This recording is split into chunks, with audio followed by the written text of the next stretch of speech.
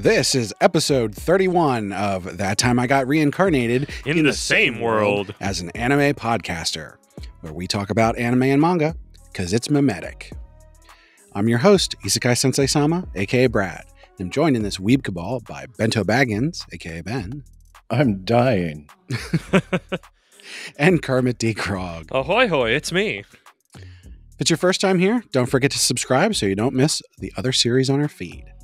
We've got Heron Addiction, where Ben and I read romance and drama manhwa and discuss who is the best male lead to get with. And Shonen Jumping the Gun, where Kermit and I check out the first chapter of a new manga in Shonen Jump, as well as other special series, and to make predictions about their longevity. So We've also got Bakabanashi, where everything's made up and the points don't matter. And make sure you're subscribed, as we're going to have another new series coming soon. And we want to hear from you. You can talk to us on many different social media platforms, which you can find links for in the description and on our website, animepodcasterreincarnation.com. Come hang out with us on Discord, listen to our Spotify playlist, and get episodes early along with bonus episodes and other perks by supporting us on Patreon. Don't forget to rate the podcast and tell your friends. Well, as always, before we get into our discussion today, uh, we got some news. We got the news. We are starting the uh, the new anime season very very Yes, shortly. Summer summer season's coming. What's what's what's coming down the pipeline? Uh, so, real quick, we got two things that already started at the end of June here. Um, first, on the 26th, uh, the strongest magician in the Demon Lord's army was a human. I don't remember if I talked about this one before. I probably should have looked it up. But uh, this is a it sure sounds like a light novel. it's a it's a manga that I've been reading for a while, and it's it's pretty good. Uh, I'm probably gonna check out the the anime because I'm, I'm interested in. You go for it, buddy. Um, and of course, the most important one uh, on the 27th, uh, the first episode of the Suicide Squad Isekai came out. Yes, I literally moments ago added the outro music that I found uh, to our playlist because it's a banger. Nice. Uh, I I actually haven't really seen anything about it besides a couple, you know, still frames and stuff. I like that. literally, I all I know is the outro because somebody posted, and it's just like Amanda Waller is like dancing. I love the way they animated Amanda Waller. yeah, Amanda Waller dancing in anime style was very entertaining, and that, and also the song being a banger was just like, yeah, I don't know if I'll watch the show, but I'm curious now at least. I'll have to watch the music video. I mean, it's the outro. I guess it's also the music video. So Are OPs and EDs music videos? I think you, yeah, I think so. There's so many of them that just stand out on their own. Yeah, I think you can. I think you can do that. Hmm. Maybe not everyone, but I I think the only thing is they don't have the whole song. that's a good point. Most of the time, it is a trimmed down version of whatever the song is. So But they have started doing full music videos of the uh the animation. yeah, I have seen that from time to time. because it's good for social media. Put Yeah. that on YouTube because then it's like Yeah. instead of that's like then that gets to go to the band or whatever. You know what I do I like hope, though, probably because sometimes what what happens if you you hear the song in the uh, OP or ED and you go, oh, I really like that song, and you look it up and you play it, and then it's way longer, and it's like, oh my god, this is so much better. It's so there's all this extra stuff. Um, or like what happened with Frieren, we we found the it was the outro and we're listening to it and it's like oh it's it's like twice as long it's really cool and then the the second cour came out and they used the other part of the song That works. That gives a feeling of journey. I was gonna say I feel like sometimes it's you listen to the longer one, you're like, I just want the shorter one. Like you've out- outstayed your welcome. I will always uh, enjoy B Stars putting up a specifically anime version on Mm-hmm. Spotify that is literally just the intro as you'd hear it on Netflix. yeah because there is that sometimes we're listening to that playlist and it like plays like Okay, we've got enough. First verse was enough. it, and it was like okay skip Got it. all right well moving on uh new new summer season i guess those two count as summer season right Yeah. because they just It's summer. Yeah. Uh, starting on July third, uh, something I know a lot of people are have been waiting for. Oshi no Ko. Ben's just nodding his head. Ben It's the theater musical arc It's it's no, it's it's what you want. It's a they they're doing this season. The characters in Oshi no Ko, the plot is they all have to be actors in one of those anime musicals. Oh my gosh. Okay, we need to figure out where's this Ben. You know where? Where's this thing streaming? I got to get on Oshino Kona. High dive. High dive. High dive still is alive. Yeah. Okay, Brad. That's going on the sampler plate. We're watching Oshi no Ko. It's time to finally pull the trigger on it. We're just gonna start in that season. No, we got to start from the top, but Oh. we're gonna start digging. I don't know if I can handle that. Uh, on the fourth, the next day, um, Patriotic. we got Red Cat Ramen. Hey, I didn't think that was coming until fall. Yep, We will that, also going on the sampler plate. I'm gonna I'm gonna call my shot now. That should be Yeah. a really adorable slice of life. That one I'm much more on board for. yeah. Um, also on the fourth, um, I I think I've mentioned this series before, If it's a light novel, I could just go sure and not It's know. not. Um, okay. Oh, but I don't think I've talked about it in depth. Pseudo harem. Do you remember that? No, Okay, so pseudo harem is about uh, a harem, right? no, No, it's There's- pseudo. no, it's yeah. So there's these two kids. They're in high school, right? It's a slice of life, sort of comedy, sort of romance kind of thing. Um, it's the the boy is a year older than the girl, and she's in the theater club, and he's also in the theater club, but he doesn't act. He's like a grip or whatever. Like He's he- stagehand. Yeah. production stuff. Yeah. Um, and they start liking each other, and she wants to be an actress, and she's really good at acting, and so she has these different personas that she puts on. So it's like he's dating multiple girls. Okay. As with everything that in these situations, I kind of love that idea, but also sometimes the idea I the idea that I imagine in my head is better than what the actual thing is because it's a lot more shallow than it seems. Hmm. It but like I kind of love that no, actually. super cute and endearing. Um, the manga's actually over already. If you want to go out and just read the manga, I definitely recommend it. Um, I didn't see any. Uh, I didn't watch any trailers for any of this stuff, but I'd poke my Um, I'd poke my head on that because that's as somebody who's trying to get into theater, I think that's cute. I really like the manga, so I hope they do a good job Okay. with that. Okay, Going on the sampler plate. Uh, on the fifth, quality assurance in another world. We brought that up before. Assurance salesman. Um, I, I I think I mentioned this before when I talked about it. I've never read this. I don't know anything about it, oh. but it's just an interesting. I guess it could, I guess it'd be QA and they know where all the bugs are and they can Yeah. clip out of bounds. So, but just wanted to to bring that up since it's starting very soon. Uh, moving on to the sixth, I got two for you, Kermit. Ooh. On the sixth, we start with plus sized elf. You were asking about that. I was asking I was jokingly asking about plus size elf. Um, and we also have the elusive samurai. Oh wow, yeah, I forgot that was getting an anime. Yeah. On the sampler plate it goes. Uh, Man, our plate's getting full again. It was getting it was getting light. It was getting really light. I'm glad to have it filled back up. uh, also on the sixth is a series that I really enjoyed. Um, enjoy because it's still going on. Uh, Dahlia in Bloom, crafting a fresh start with magical tools.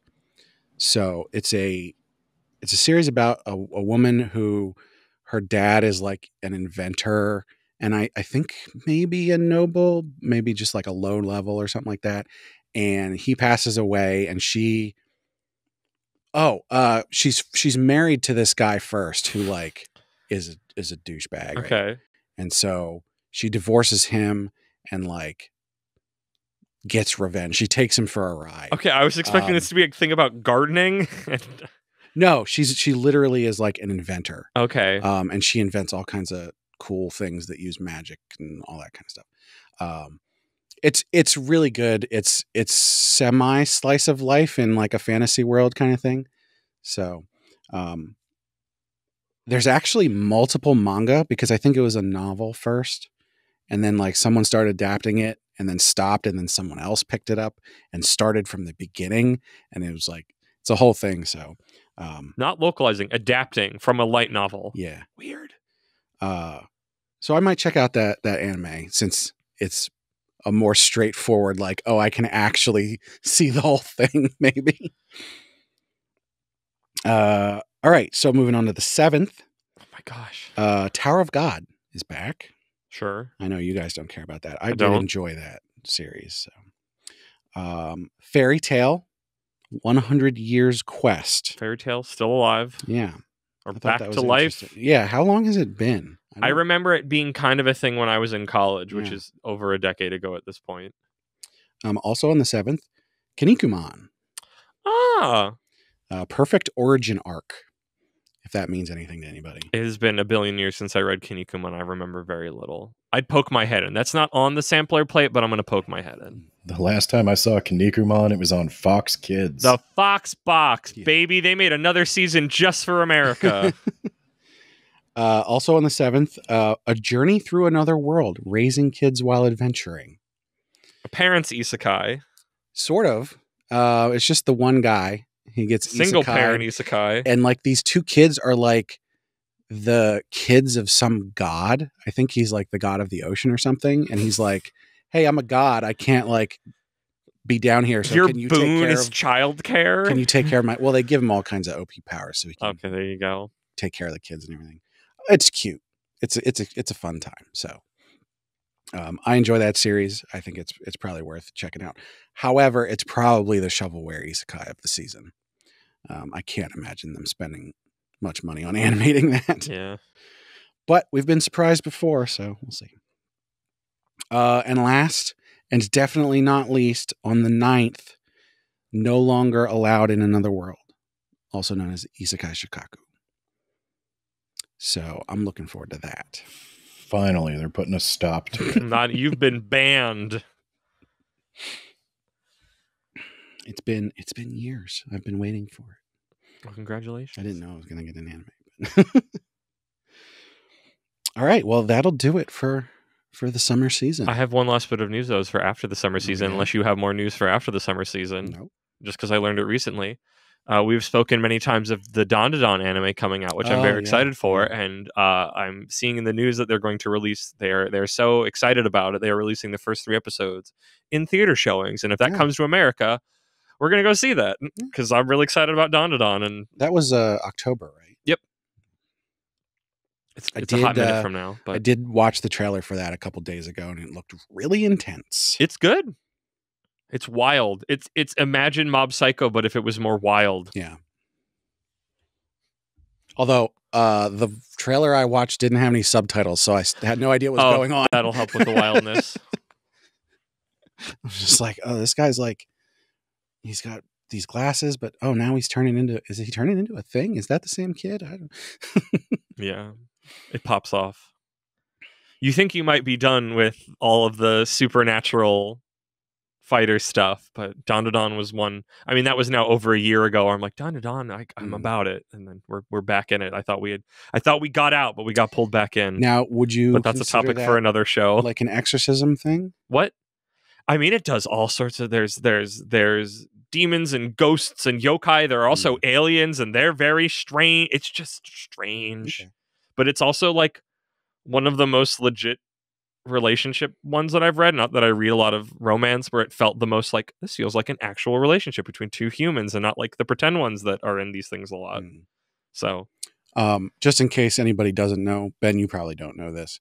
Uh, Shonen Jump has decided to go all in on exorcism again, for some reason. because Jujutsu Kaisen's ending later this I've, year. I've seen it on the app. I saw like two. We're getting three. looked like new the exact same Yep, we got. We just got two of them, and I think we're getting another one Sunday. And f me. Well, and recently, uh, so Kyokuto Necromance. which Yeah. our episode didn't come out yet, right?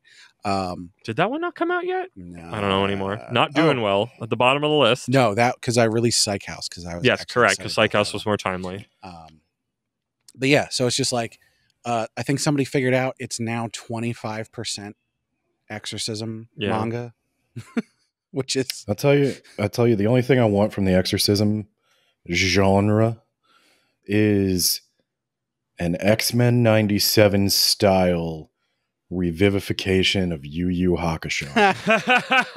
I'd watch that. You'd have to have somebody else to pick it up because it's what I, what's what's his name, and he's busy being almost dead and trying to finish Hunter Hunter, which will never happen. Mm, yeah, yeah, he doesn't need to be involved. No. Somebody who grew up loving Yu Yu Hakusho needs to do it. I'm available.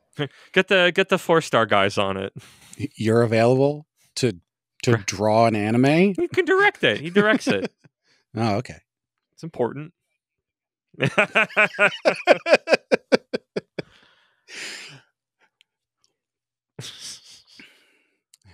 What was that about a fever? Mm. Cooking your brain. His only prescription is more Yu Yu Hakusho.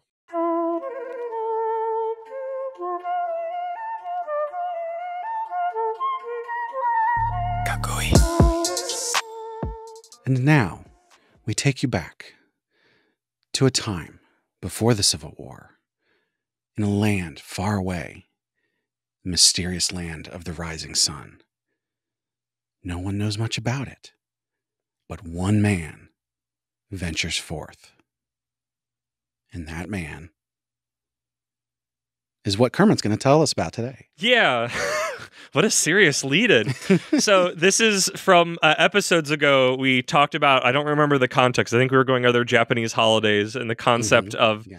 um, nationalist drinking holidays in America. We have St. Patty's Day. We have Cinco de Mayo, where the actual originating countries don't care about it as much as the Americans do, because we like racial based drinking holidays. So my my gag idea was in summertime is when uh, this man who went to Japan and he's not the first, which we'll learn a little bit. Uh, Commodore Perry opened Japan in July, and I thought that would be a good, very uh, blunt, uh, disrespectful time to have such a holiday to drink a bunch of like Japanese sake in America. Oh, we didn't we didn't get any sake.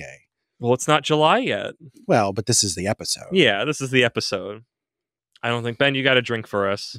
I'm sure it'll be great with your fever.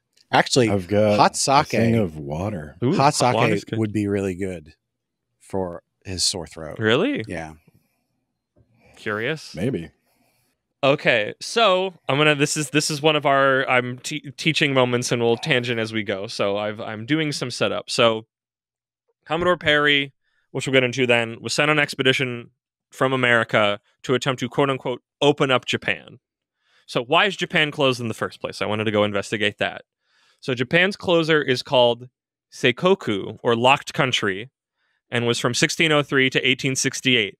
That is 265 years that it was quote unquote closed to quote unquote the world. There's a lot of quote unquotes right now. There's always like small details, but by and large, they are locked off from the rest of the world. I apologize for this tangent already, but does anybody ever get this weird thing where like when you talk about old like lengths of time, it doesn't feel as long as it does like present day? Because when you say 16 something to 18 something, it's like, Yeah. oh, that's just a little while, but that that's like four generations. Well, that's what I was saying. That's mul- 265 years is multiple generations Yeah, of humans. Like, and we're talking about Six, eight generations. over a 100 years ago where medical tech isn't as good. Yeah. I mean, this is before they open up and westernized. So, like, I don't know what Japanese medicine is like, but like, that's multiple generations where like the political ramifications of the country could change, and they just don't, which is part of what the shutdown's about, admittedly. Um, this Were was they still what? Sorry, trading with China? Yes, they're they're doing really specific. I have that in my notes. That they're doing really small, very specific trading with China and the Dutch uh, as well. But that's like specifically All right. The Dutch All in localized one to- specific port. yes, the south. artificial island Nagasaki, and even that goes down over time after the initial shutdown, and and is like very strictly monitored. They're like, you go here or you go nowhere, and it's like really specific. But like those ideas are still going through. So why did it why did it do this? Why did it lock itself? Why did it locked countries? Sakoku. So this is somewhat self isolation from foreign powers. They're seeing all these European powers coming over and taking Asia. They want to inoculate themselves against that. Um, and the ideas from these places, because you know what, we've got the American Revolution happening and the French Revolution. So they they literally let no one leave. And the thing that really got me is no one's allowed to come back in. So if you left, which did happen, like there are Japanese people in America at this point in time, back in the 16, you know, 1700s, they're not allowed back in That's a. because they could have ideas in their head. I want to say Britain was already in India at the time. Were they in China at that time? Probably. Yeah, I mean, if the Dutch were- are over at this side of the world Yeah. doing trading, then yeah, we're probably already starting colonies. Colonization is kicking in more. they they were doing some stuff with opium. Do we know Yes. when when they uh, took Hong Kong? No, I do not have that information. Um, But yeah, point being, yeah, you have Great uh, Britain doing all kinds of stuff over there. Yeah, that and the French frame. and the so Dutch and yeah. I don't really blame them. So no, but the the key one, the key one, there's one key idea Japan really doesn't like. They make a Jesus. yes, correct. I knew this one. yes, correct. Is that it's Christianity is banned. This is literally that from all my research, which you know I tried to check a couple different things. I'm not going to say it was the most and academic thing, but the main thing I saw is the shogun found the spread of Christianity as a threat to Japanese stability so weird more than anything else. JC out of here, It doesn't- allowed. it like doesn't make any stomp him, stomp him, stop him, and close the entire country so he can't come back. because Jesus went to Japan. So, like, why were they so against it? He lived there for so long.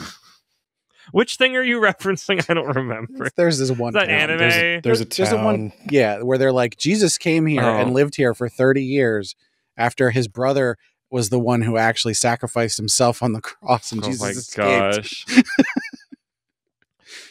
so now to even move the, the clock back even further, the history of Christianity in Japan. Christianity arrived in Japan around 1549 from Spain and Portugal, and then was banned uh, around 70 years later in 1614. So it doesn't even take a full hundred years for the the Japanese government, or I guess the shogun, to be like, eh, we're not having this here. Um, Shogun tried so hard to stamp it out. He banned, yeah, he banned people from leaving or returning because he literally just he does not want these ideas getting into the country. I suppose that has to do with like them uh having a higher power than the emperor. yeah, or even the shogun. Like it gives, it also gives peasants like JC's good for the peasantry. Yeah. Christian because it leads you to believe like, oh, I'll have this afterlife and not like this is your place in the world Right. And you will be stuck here through reincarnation and whatnot. I don't know. That one's that one's me not knowing enough to talk about it properly. So, but yeah, like just so completely trying to inoculate the country from Christianity, upsetting everything because we can't have people having ideas that will make them want to overthrow the government that's not really doing anything for them. Mhm. I had this one story that that kind of made that very clear, and this was admittedly post the lockdown, um, but it was one that made it even more intense because I think we, you know, when you look back on history, you can go, "Oh, this entire period is the shutdown period," but in the moment, you don't see it as like. I don't think they saw it in the middle of like we're going to be closed for 265 years. It just Right. kept going, and I'm sure this it, is how things are. it gained and waned in intensity. Yeah. Um, but I didn't know about this. I'd love to learn more about this. Uh, was the Shimabara Rebellion in 1637. It was a peasant revolt over heavy taxation and abuse by local officials. But most of said peasants had been converted to Catholicism, and the rebellion took on a very Christian, a lot of Christian overtones. Said peasants also got the help of a large number of Ronin, Hmm. which I thought was really funny. It was said, quote, the rebels fought so zealously that an army of 100,000 troops was unable to quell them, and the Japanese government had to call in a Dutch gunboat to blast the rebel stronghold. Following this incident, the government vigorously enforced its prescription of all Christian beliefs and activities. Like 'Cause literally, it takes a Christian to kill a Christian. I was going to say the Dutch were like, "Yeah, we'll blow up those Christians."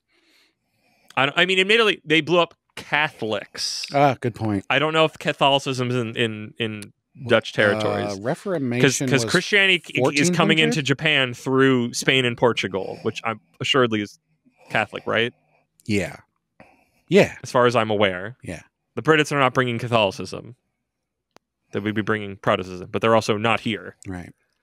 So Right? yeah, so they like Anglicans by then. we don't hear. I mean, I mean, obvious like we're getting Japanese history through video games and anime and manga, so like you know, grain of salt there. But like, this sounds like a fascinating moment that they. I mean, probably it was called historically because they don't want any history of anybody rebelling, like especially through the, the guise of Christianity.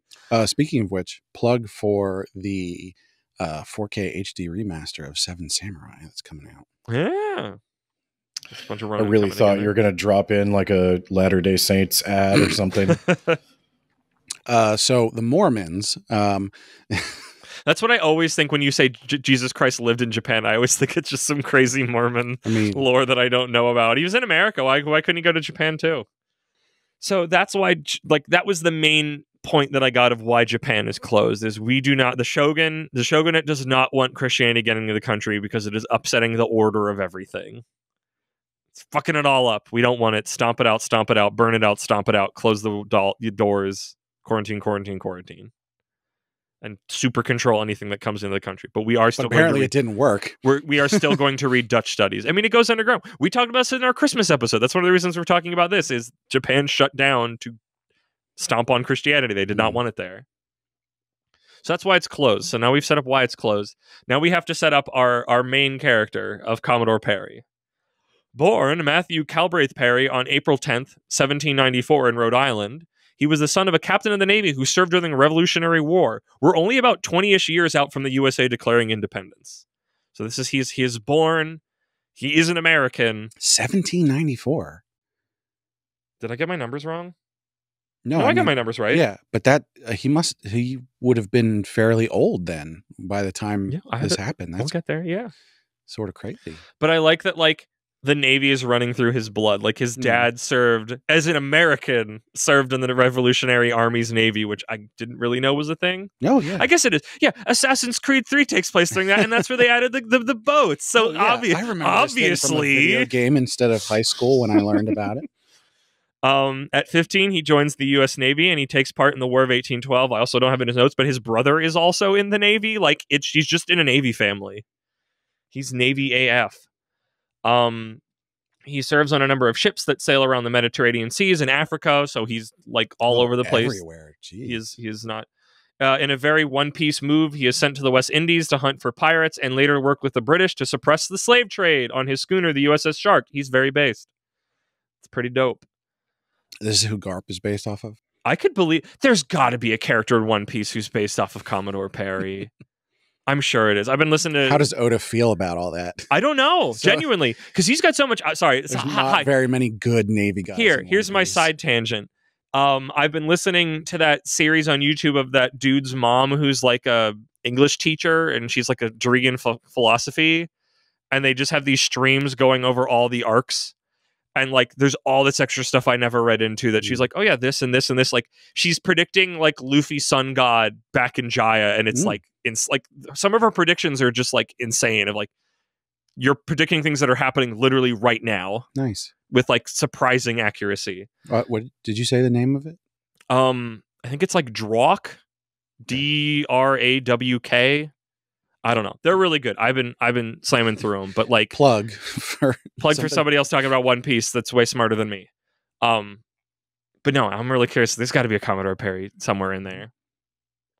That was one thing I didn't actually get in my reading that I want to do because I focused more on the history of like what does a modern Japanese person think about Commodore Perry? Because one of the the videos that I listened to that was like um, a Navyman historian talking about him. He's just like, yeah, most Americans don't know who he is, but like Yeah. everybody, every Japanese school kid does. I mean, like, Probably depends on where your family was in the Shogun's rigid caste system. Interesting. But how much does that go to now? Like that's the it's the weird like what do we That what do we way think of like now. weird old things that happen in America? they had to make laws to change. Uh, uh, they used to have companies looking at uh, the family registry. Like you would have to send them in your whole family registry. And if you were from a village that was like known to be uh, the lowest caste, which is like the people that work with uh, like uh, breaking down animals and stuff, like skinning, Mother uh, workers, butchery, yeah.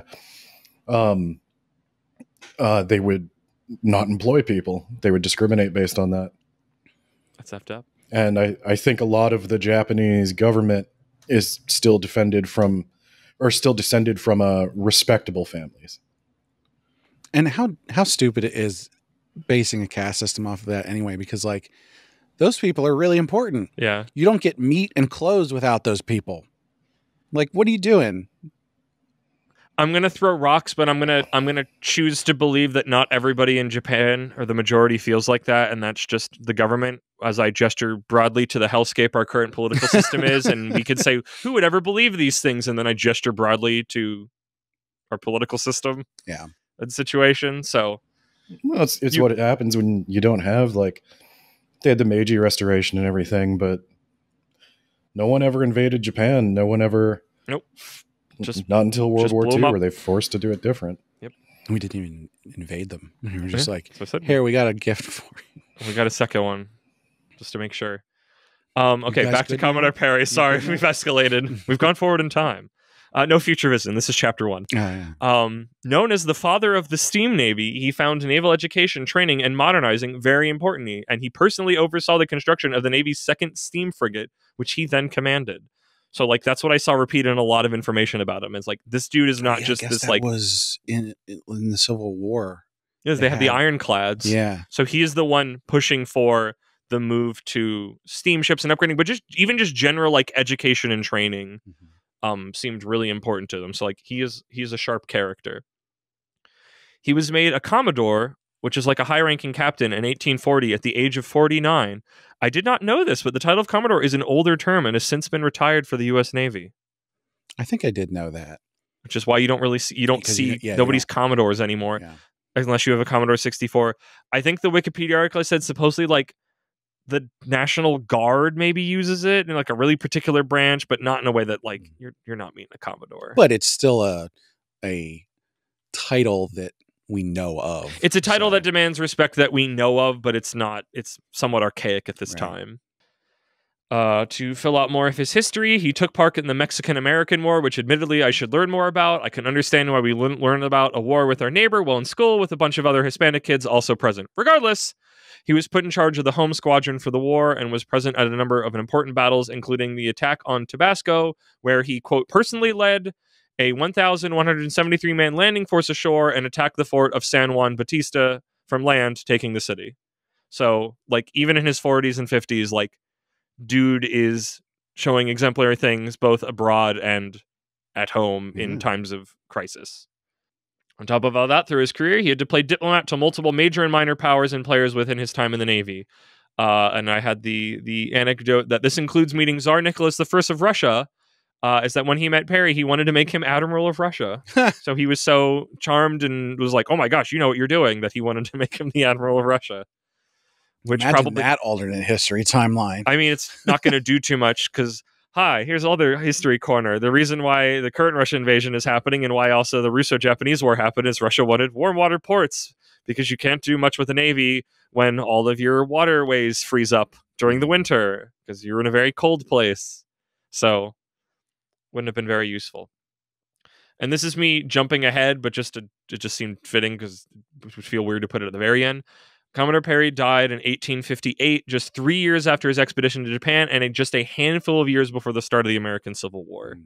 to give a, a placement. So this is a man born shortly after the America, the American Revolutionary War, and died shortly before the Civil War. He picked really good. In that pocket of time, I don't think you could have. I think I don't think you could have had better timing. Eh, it's not bad. I'd, I'd be curious because he, I mean, he was old, but he wasn't like old old. But I'm sure just a lot of time at sea will mess you up. It's all that salt. not good for bodies. So okay, cool. We've done all. We've we've set up Commodore Perry. We've set up why it's closed. Why does USA want Japan to open? So the major factors I saw was Europe. European powers are generally setting up fueling stations all around Asia already, and America wants theirs. Fueling stations. Coal stations. These steamships need fuel, Oh yeah, yeah. so they need specific spots that they can refuel that are essentially just theirs. you just talked about the steamships, but for some reason I just kept with like Correct. sailing ships. They run yeah. on coal. So that's kind of a small one. The the main one I see show up a lot is that um, American whalers are traveling near Japan because that's where the whales are. I think this came up in another like episode we talked about ages ago, um, because it was familiar to my brain. The American ship shipwreck because you know you're at sea, you're trying to fight these whales. It's a dangerous mm-hmm. thing, and Japan just doesn't like. They either take the shipwreck victims either prisoner or just straight up kill them. And America's like, could you just not do that? So some of it's that, some of it's like open up trade. Please open the country, stop Yeah, having it be closed. I mean, uh, okay, we get it. You're closed. Take the people, and then send them back. Please stop killing our. Like- but no, because nobody is allowed to leave or come back. We cannot have any. We're just going to keep them in a box, or we're going to kill them. Nobody, Because nobody can bring ideas in or out. magically take all of our knowledge, even though I, dude, here I got, I've got another thing for the, some of the setup. hmm, Uh, speaking of which, there you go. Um, originaler, one Commodore John Aulick was supposed to be in charge of the expedition, which was an attempt to return 17 shipwrecked Japanese sailors who were residing in San Francisco, but was relieved of his command due to some political and ship level squabbling. He was replaced by Perry. So like I didn't think about that. It was like, oh yeah, Japan would also be out sailing. I mean, I guess to an extent, and they could have shipwrecked who knows when, Mhm. and they want to go home. So it's like, please take your people back. They would like to go home. And the shogun's like, nah, not doing that. Which makes me wonder because like if anybody isn't aware uh go on google earth and and view the the earth view you The know, like Earth? the ball when you zoom out far enough you get the actual globe earth and center your map on the pacific ocean you will find that there's no land masses the pacific ocean takes up basically half the planet It big. so I wonder for a country that's like, hey, we're closed, nobody's allowed in or out. Now, obviously, they're still going to send ships out for fishing and stuff like that. But how did those fishermen get far enough that they ended up close enough to the United States to be kept there for a while? I mean, how did the American sailors get close enough to Japan to shipwreck there? Well, I imagine the I would say it was the whales. The Americans are sailing farther abroad, right? I guess so. Um, because they'll go Mm, to Japanese whaled too. yeah, I mean, maybe that's it. It's just it's just that moving in both directions. I That's a didn't good- see the yeah. particulars of why. I'd love to know. Like, I love, I love these nitty gritty, like human level stories in history where it's like, here's the broad strokes of it. It was one of the reasons why I wanted to research on that. That this wasn't just this, you know, this troglodyte shows up in his gunboats and goes, "Open the country or die," and that there was more, um, I, I mean, context to everything and detail and specificness, and not just somebody wielding a cudgel and going, Right. "Open the country." Not to say that the, the gunboat diplomacy is, has a name for a reason, but there's more to it than just a brute showing up and going, "Open up or die." This is a weird rabbit hole I've gone down. Go for it. uh, for love other things, but like, um, I at least was not aware of how important like whale oil was to industry. Mm. It was a long ass time before we had reasonable synthetics.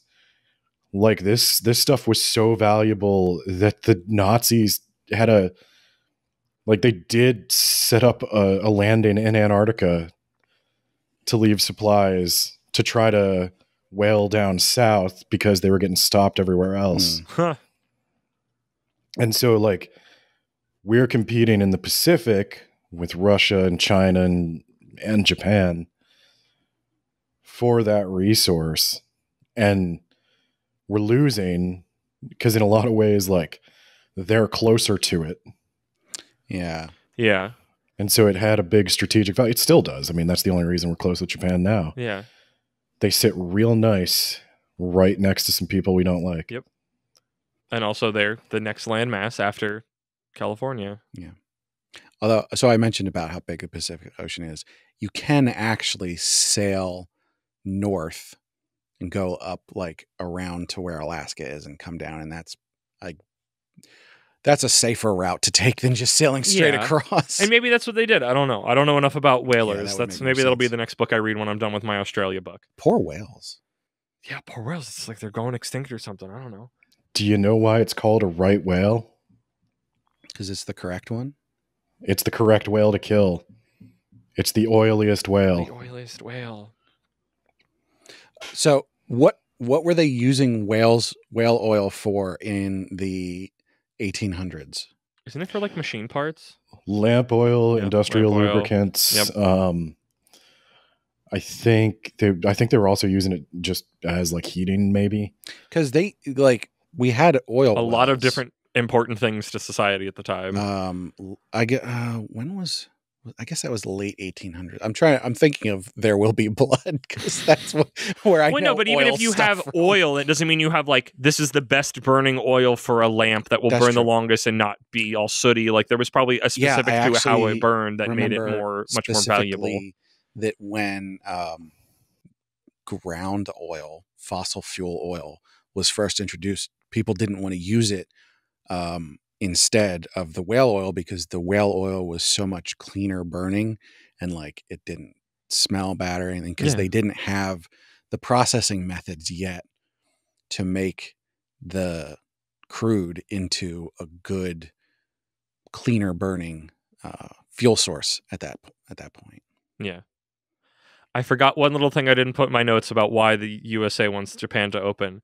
There's also a little dash of a thing called Manifest Destiny kicking in. We have moved across the Mm. country. We have run run out of normal land. So we are looking outward, even though we're still a technically more closed off America at that time, because this is pre World War One, where like the door really starts opening up fully. We're looking for other things to get our fingers into at this point. So Japan is one of those things. It's like, hey, Europe's getting over here. We want our fingers in something. It's so the next most westward thing. yeah, Westward expansion. all of Hey, our there's an ocean. all of our parents I are getting said into Asia. westward expansion. manifest destiny. We're going to go the whole way around the world and then we're going to conquer it again. Yeah, there you go. Get back to the east Uphill coast. both ways. Take over this these people. But These are we're, our We're already here. This Yeah. is like where our capital is. I said take it over. Okay, back back on back on track for for prep for the opening. So Perry at first when he got charged with it for for it from from President Millard Fillmore, Oh. um he didn't want to do it because he didn't think it was going to work. There is actually multiple other earlier attempts for like a 50 year span of Americans specifically trying to open Japan.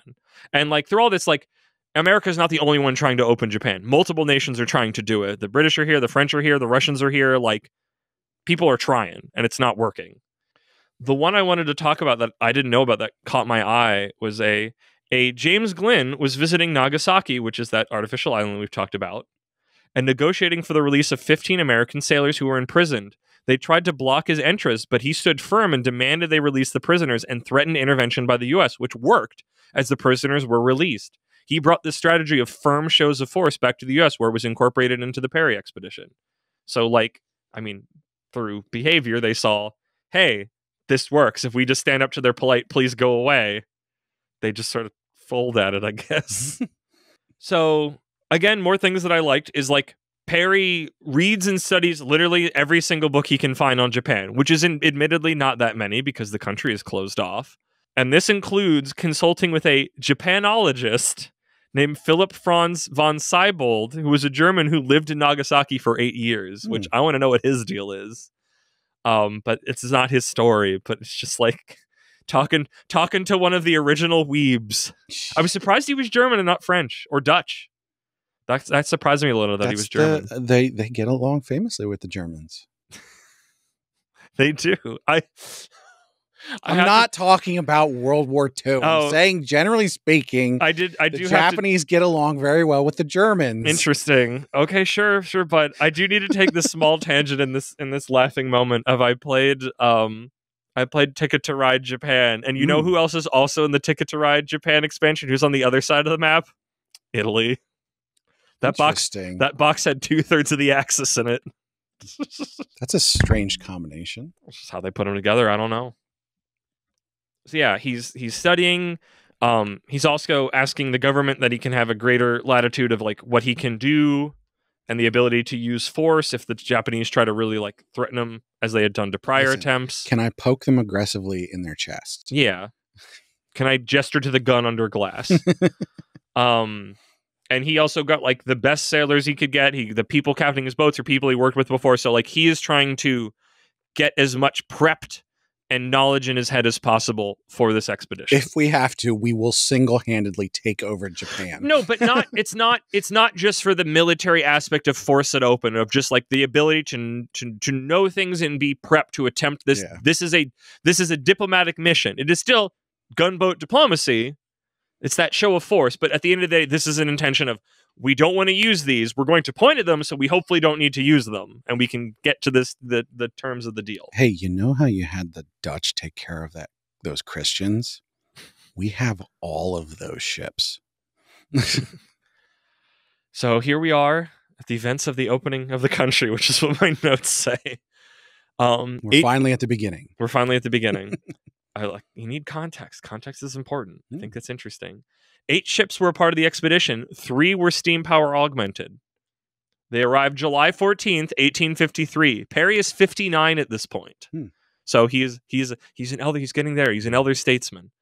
Did, Um, uh, just real quick, di- I don't know if this came up in your stuff, but when they say steam power augmented, is that like they took normal sailing ships and like bolted steam onto them. That was my idea. The the the description I the pictures I saw in the description I read is that they had a they did not they could put up sails if they needed to, but they had they were ironclad and they had like a steam powered paddle wheel that moved them forward. So probably built as steamships, but with sailing backup.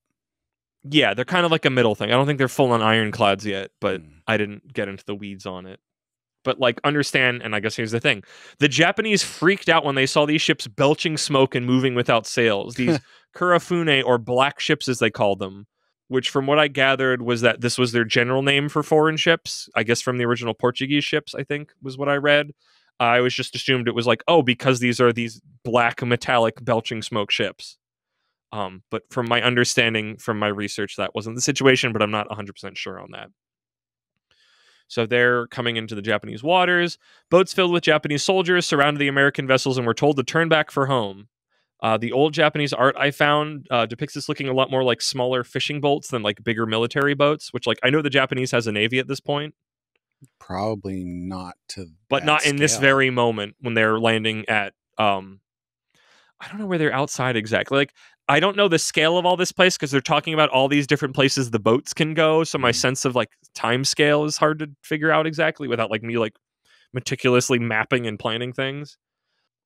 But here it is that like Japanese and just like please go home and they go no you go home I've got business I've got a letter from the president. Finally, Japanese negotiators get onto the boats, and Perry says through his translators he is there to deliver the letter from the president to the emperor. They come to an agreement that he can deliver the letter. They try to decide where the ships can dock. Japan wants Nagasaki because that's the port they always send the foreigners to. Perry refuses. There's a lot of Perry refusing about ports. Well, because at the at this time, uh, the emperor was in, uh, is Kyoto, at the time, or is that Ben? Do you remember? He might be in Edo because there's a point where they talk about later about wanting to go to Edo. This also my understanding is the emperor Mm. is like essentially a puppet of the shogunate. Yeah, but I think just of maybe I'm assuming from and either was the video I watched or the information the Americans had at the point that they like, oh, they are ruled by an emperor. because Nagasaki's down south, and Yes. Yeah. Tokyo and Kyoto and those are more in the middle of the country. Like that's what gives me confusion about like and if this was not just an audio podcast where I could go like, here's a map to show people, I'd have probably spent more time looking into that because it's like they go to Yokohama or they go to Kurihama, which is near Yokohama. That's the spot they settle on.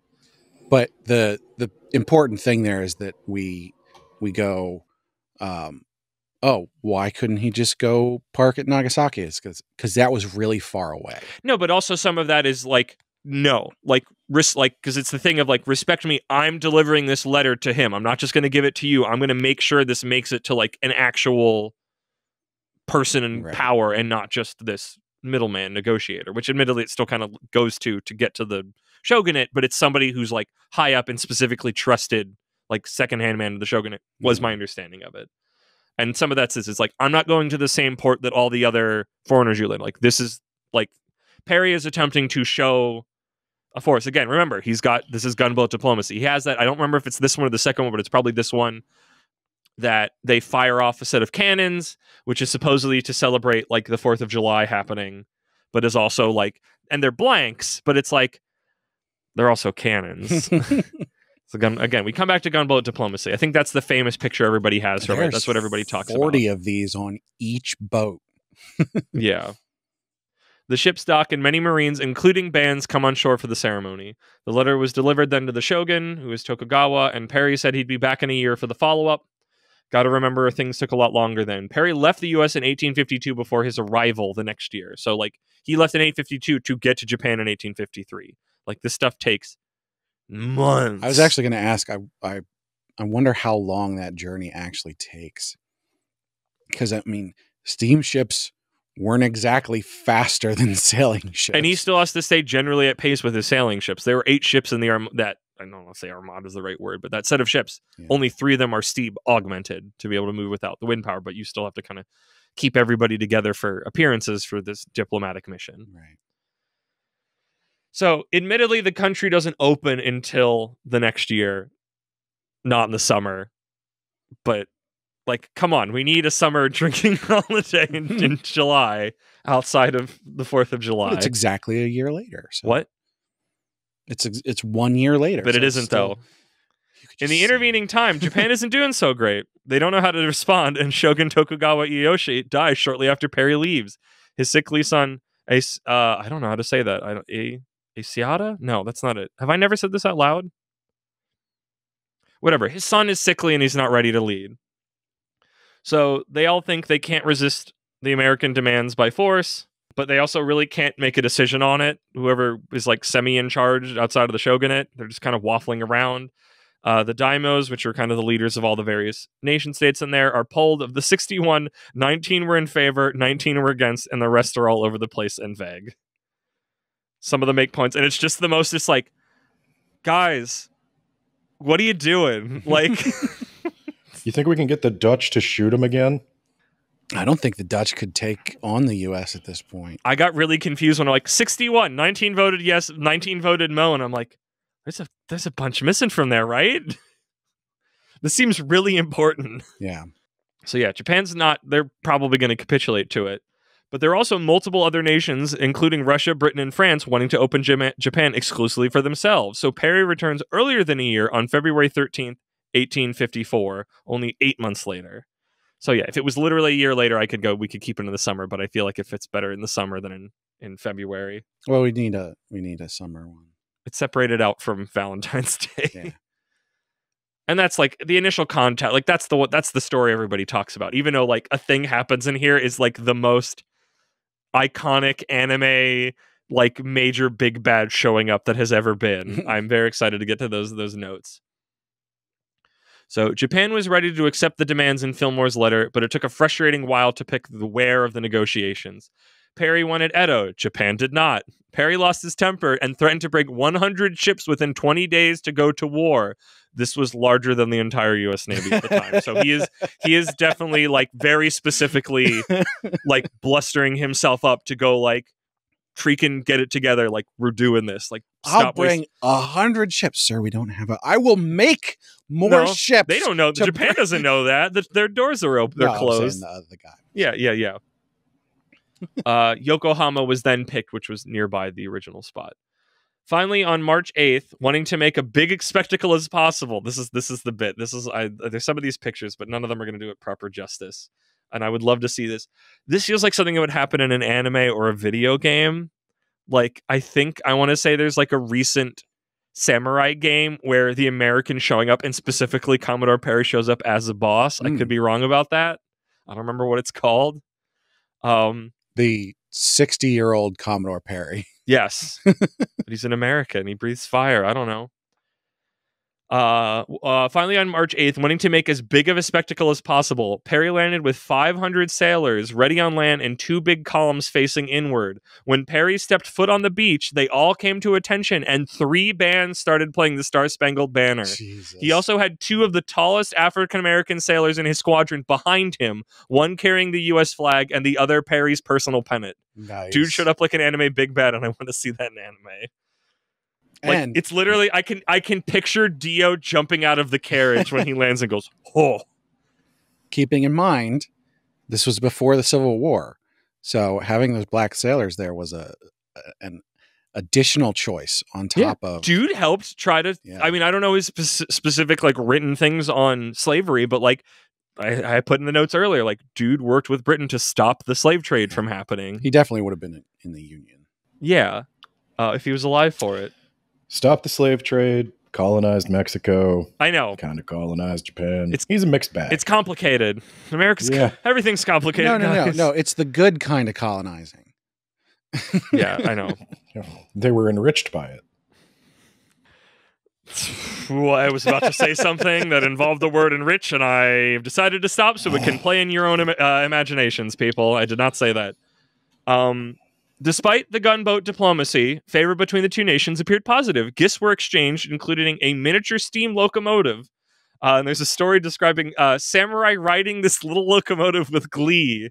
And I just thought that was the funniest, Oh cutest God. thing. I would love to see that. They don't have trains. Commodore Perry started the ball rolling that gave us Demon Train. nice. Uh, more information on that later.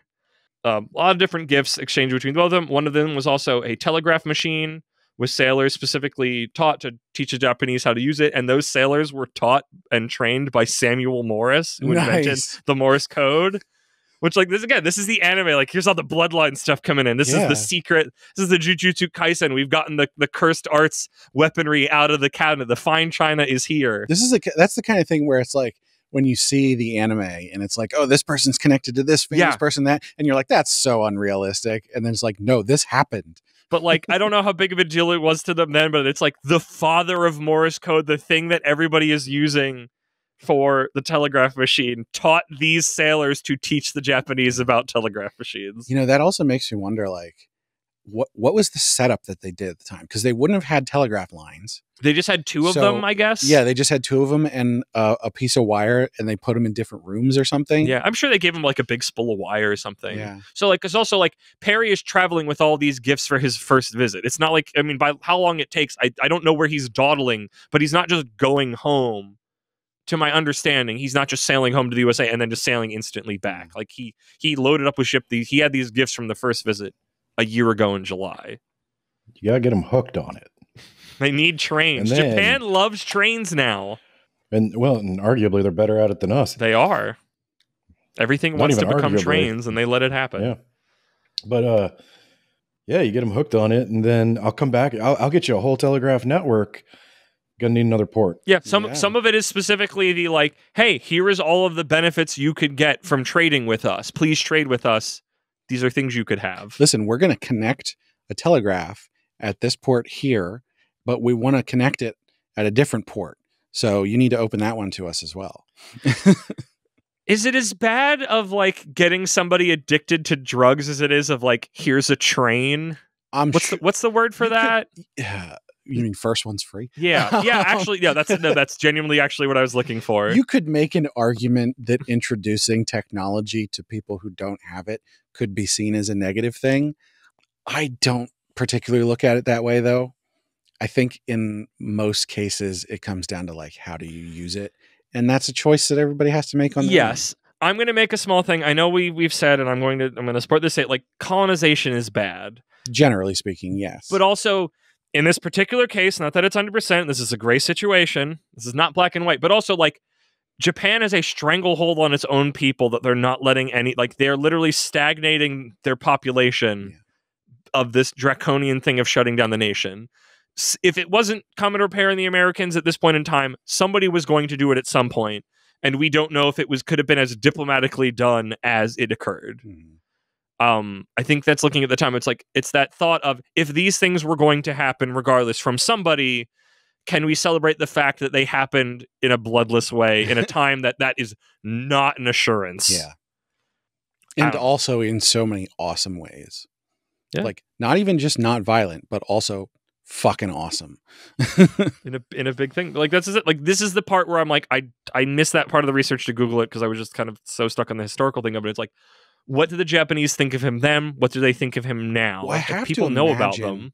that that the whole thing of like showing up with all these crazy boats and guns and then like having all these troops and having a fanfare when you step off the boat and all what that, are black people? Like that must have um I think black people They were, but like I'm sure Uh, I don't think a lot of Japanese I think Japanese people are still somewhat surprised by um the the those gamers of, of, of containing a lot of melanin. the gamers would probably argue with us but um It just like how that formed the idea of what an American is in the minds of all these Japanese people back then must have it, it must have been crazy. yeah, because you're just like we're we're like literally the founding of our nation is a is is already the beginning a melting pot of cultures.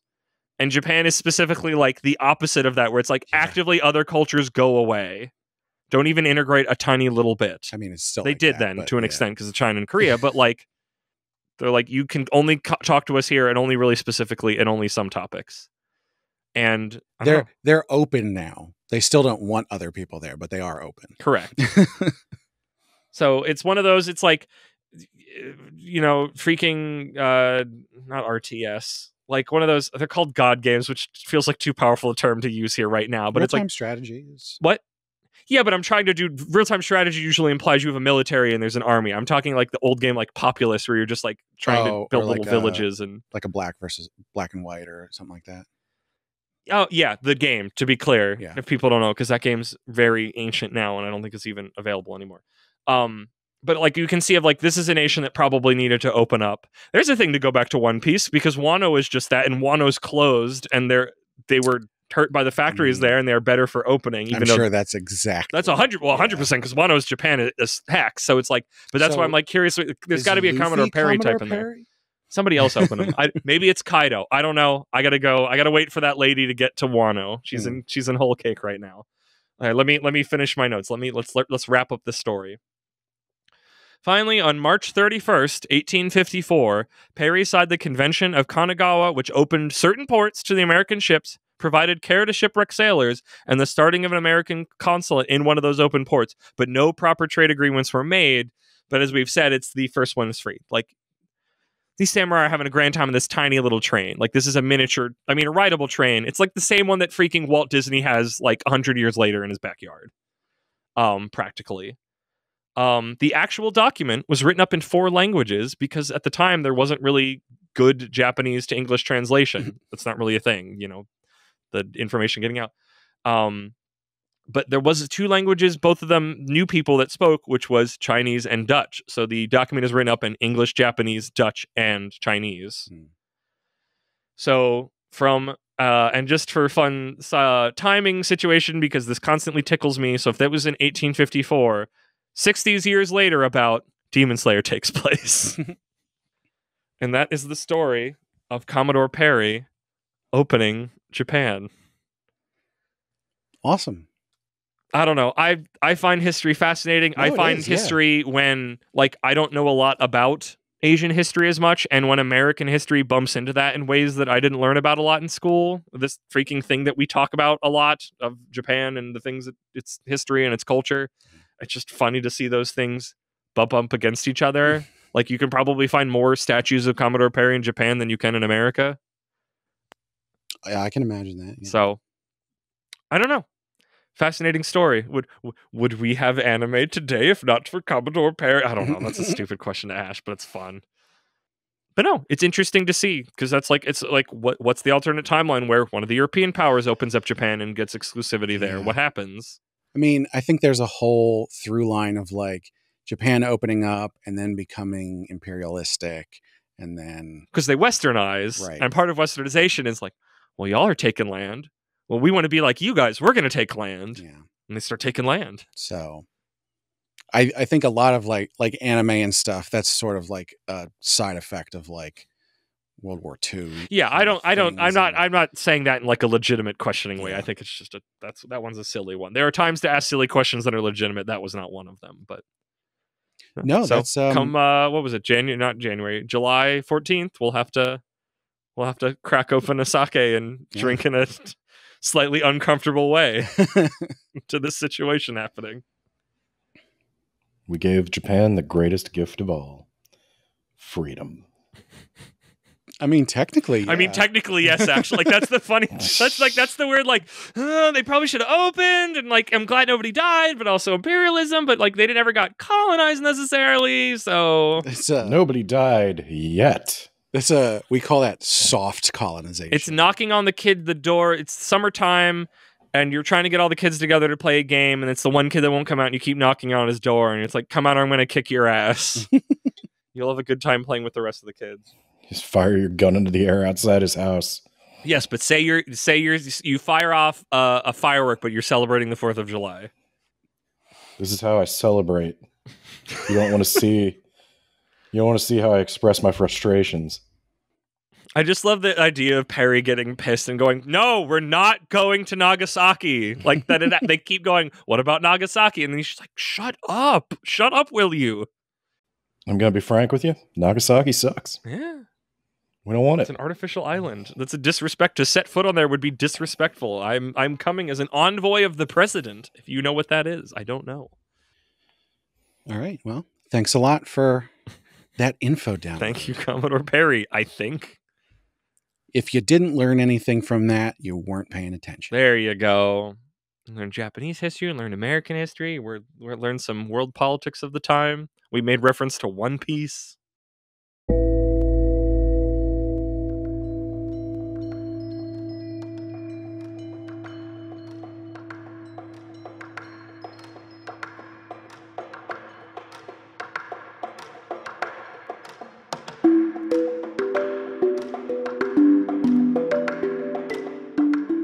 So there's an interesting phenomenon that has a sort of a standout incident that happened recently. Okay. There, uh, I hope everybody knows because they listen to Shonen Jumping the Gun, but there is a relatively new series that came out called Kagurabachi. yeah. uh, Earlier this year. That I was believe. actually was that our first episode of Shonen Jumping the Gun? I think it might have been.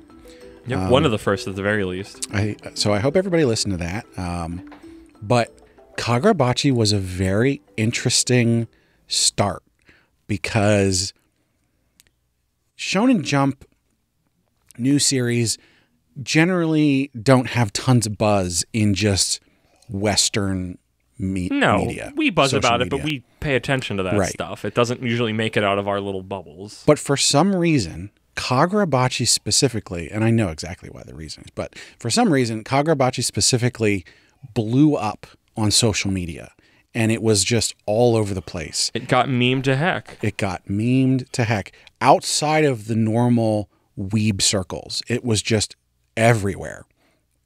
Now, anime and manga does lend itself to memification a lot of the times just because of how ridiculous it can be um, in in so many different series. But like you you pull out these specific moments of them and and without the context, they're just sort of crazy. Um, especially when the series itself is really cl- crazy, like a JoJo's Bizarre Adventure or something like that. I'm sure everybody knows the uh, the guys dancing on the boat thing. Yep, the torture dance. Um, that was a huge thing for a long time, and I that was before uh, I had even like gotten into JoJo's Bizarre Adventure. That was a while ago. I mean, at we this can get point. into JoJo means then, but what's get back? Let's get back on Kagurabachi. You're getting distracted. well, so Let's finish the story. the the interesting thing there was Kagurabachi actually turned out to be really good. yeah, it helped. It helped that it got this boost that it was actually genuinely a good new series. It's probably the first like actual hit that we have seen since paying attention to the Yeah. magazine. And Genuinely, and Oh. not just like we like it and it gets along. a lot of times when you have these sort of like flash in the pan anime or manga memes, it's because the series is like weird and off the wall and everything. just something strange and it happens. the fact that this one really took off and then it sort of kept going. Like the series itself lived up to the hype that it built up from the memes was a very interesting phenomenon that I'm not sure we saw we've ever seen anything exactly like that before. Cuz as I said, memes all over the place for anime and manga, Yeah, but most of the time it's it's just one off here and there. It's not something that like sort of pushes the phenomenon itself. Mm, no, I mean, what the, that the memes don't push the the thing they're from. Yeah, cuz like the the meme is just oh, there's the meme, that's funny. I would say it does. I feel like that's one of the popularity points of manga and anime. Well, it- people it- like us it lets people know about it, and then they go check it out. Like, I mean, there's a. I, I still want to set up what the actual like name topic of the segment is, but like I can get into it literally like a history of JoJo memes because it stretches longer than I think you're thinking. I mean, I it's it's been going on for a while. I just um I don't know. I this could just be me not paying attention, but it hasn't been my experience that those memes parlayed into additional viewership. I would say it has. JoJo memes have been around for decades. But I wanted. Okay, I'm taking the floor now. Okay, I, I thought we were going to set up what this segment about, which was why are um, anime and manga so easily memetic more than pretty much anything else. And I feel like, I mean, JoJo's the perfect example. Way back in the internet, before when when all America had was oh what I think we got Stardust Crusader manga tankobons translated like back in the 90s or early 2000s and we got also we got Heritage to the Future, which is like the PS1 Dreamcast fighting game. And one of it, an early internet meme was Road Roller, was Dio going, Yeah. and the Road Roller, like Road Roller, From the that was f- from- decades before any of us knew actually what JoJo was with any sort of meaning and understanding. that was the uh what is that an OVA? No, we I think a lot of people got that from the video game. So I remember Oh, seeing really? that sprite show up on stuff in like old Flash cartoons. Like, I remember there was a a Stickman cartoon yep, yep. so far back that was like a recreation of that uh the steamroller because it's thing. wild. Because if you're just playing that game, you don't have any context for what this is. It's And I just this insane thing. I had no idea what that was for the longest time. That was at a point where I wasn't curious about that stuff. It's just here's a funny thing. I mean, we on. wouldn't have had access to it, but like it Well, was curious. yeah. It made me go years later. I'm like, oh, that was JoJo. Um, with stuff like that, I think think of other early internet memes. All your base are belong to us. Is that not a Japanese game? That's Engrish. Like that's a Yeah. poor translation, and it was this thing that spread around. There's just something about it's that it's the weird window that it gets kind of reflected through that we just got a lot of media from Japan but I think because of the weirdness, especially early on of how it came through, and I mean, admittedly, more now it fits in of that it just it stuck. It something something about it stuck out to us, and it stuck around more than anything else. Hmm. trying to think of like what it all has in common and i don't i don't know what what catches people i mean anime is hyper stylized that's one thing. Yeah. but I, I think something that's hyper stylized easily recognizable like easily reproducible. And maybe that doesn't mean as much in like the uh the internet age where you can copy and paste anything but like anyone can draw like an anime winky face. Anyone can draw like like even our emoji has the like the crying emoji there's one that has tears coming down in waves Mm. and i feel like that that is an anime interpretation of crying Yeah. So here here's here's here's a dual branch from that. One of them is that cute art is already part and parcel with Japanese culture. I think we've already seen that through their history. Like that is already a part of their art. I mean, we see chibi later on then, but even before that, like that's a thing. And like chibi is a cutesy, easily recreated, easily sellable thing that spreads around really easy because it's just a cute little thing, and anybody can draw it because it's simple, simple and cute, and that's very spreadable. I think. Um, but also, um, Ben, we were you were talking about this before we started on the the original notes we made for this. I don't remember the term you used for it, but it's that idea. It's those visual shorthands, which like manga kind of like birthed up, where it's like we don't have multiple panels. I don't want to draw all these things. I need to express this emotional or idea, this situational idea, quickly. Right. So a bubble coming out of somebody's nose to indicate that they're sleeping. Sleeping um, What was the other one? A hash mark on their when they're angry, yeah. or or a big sweat.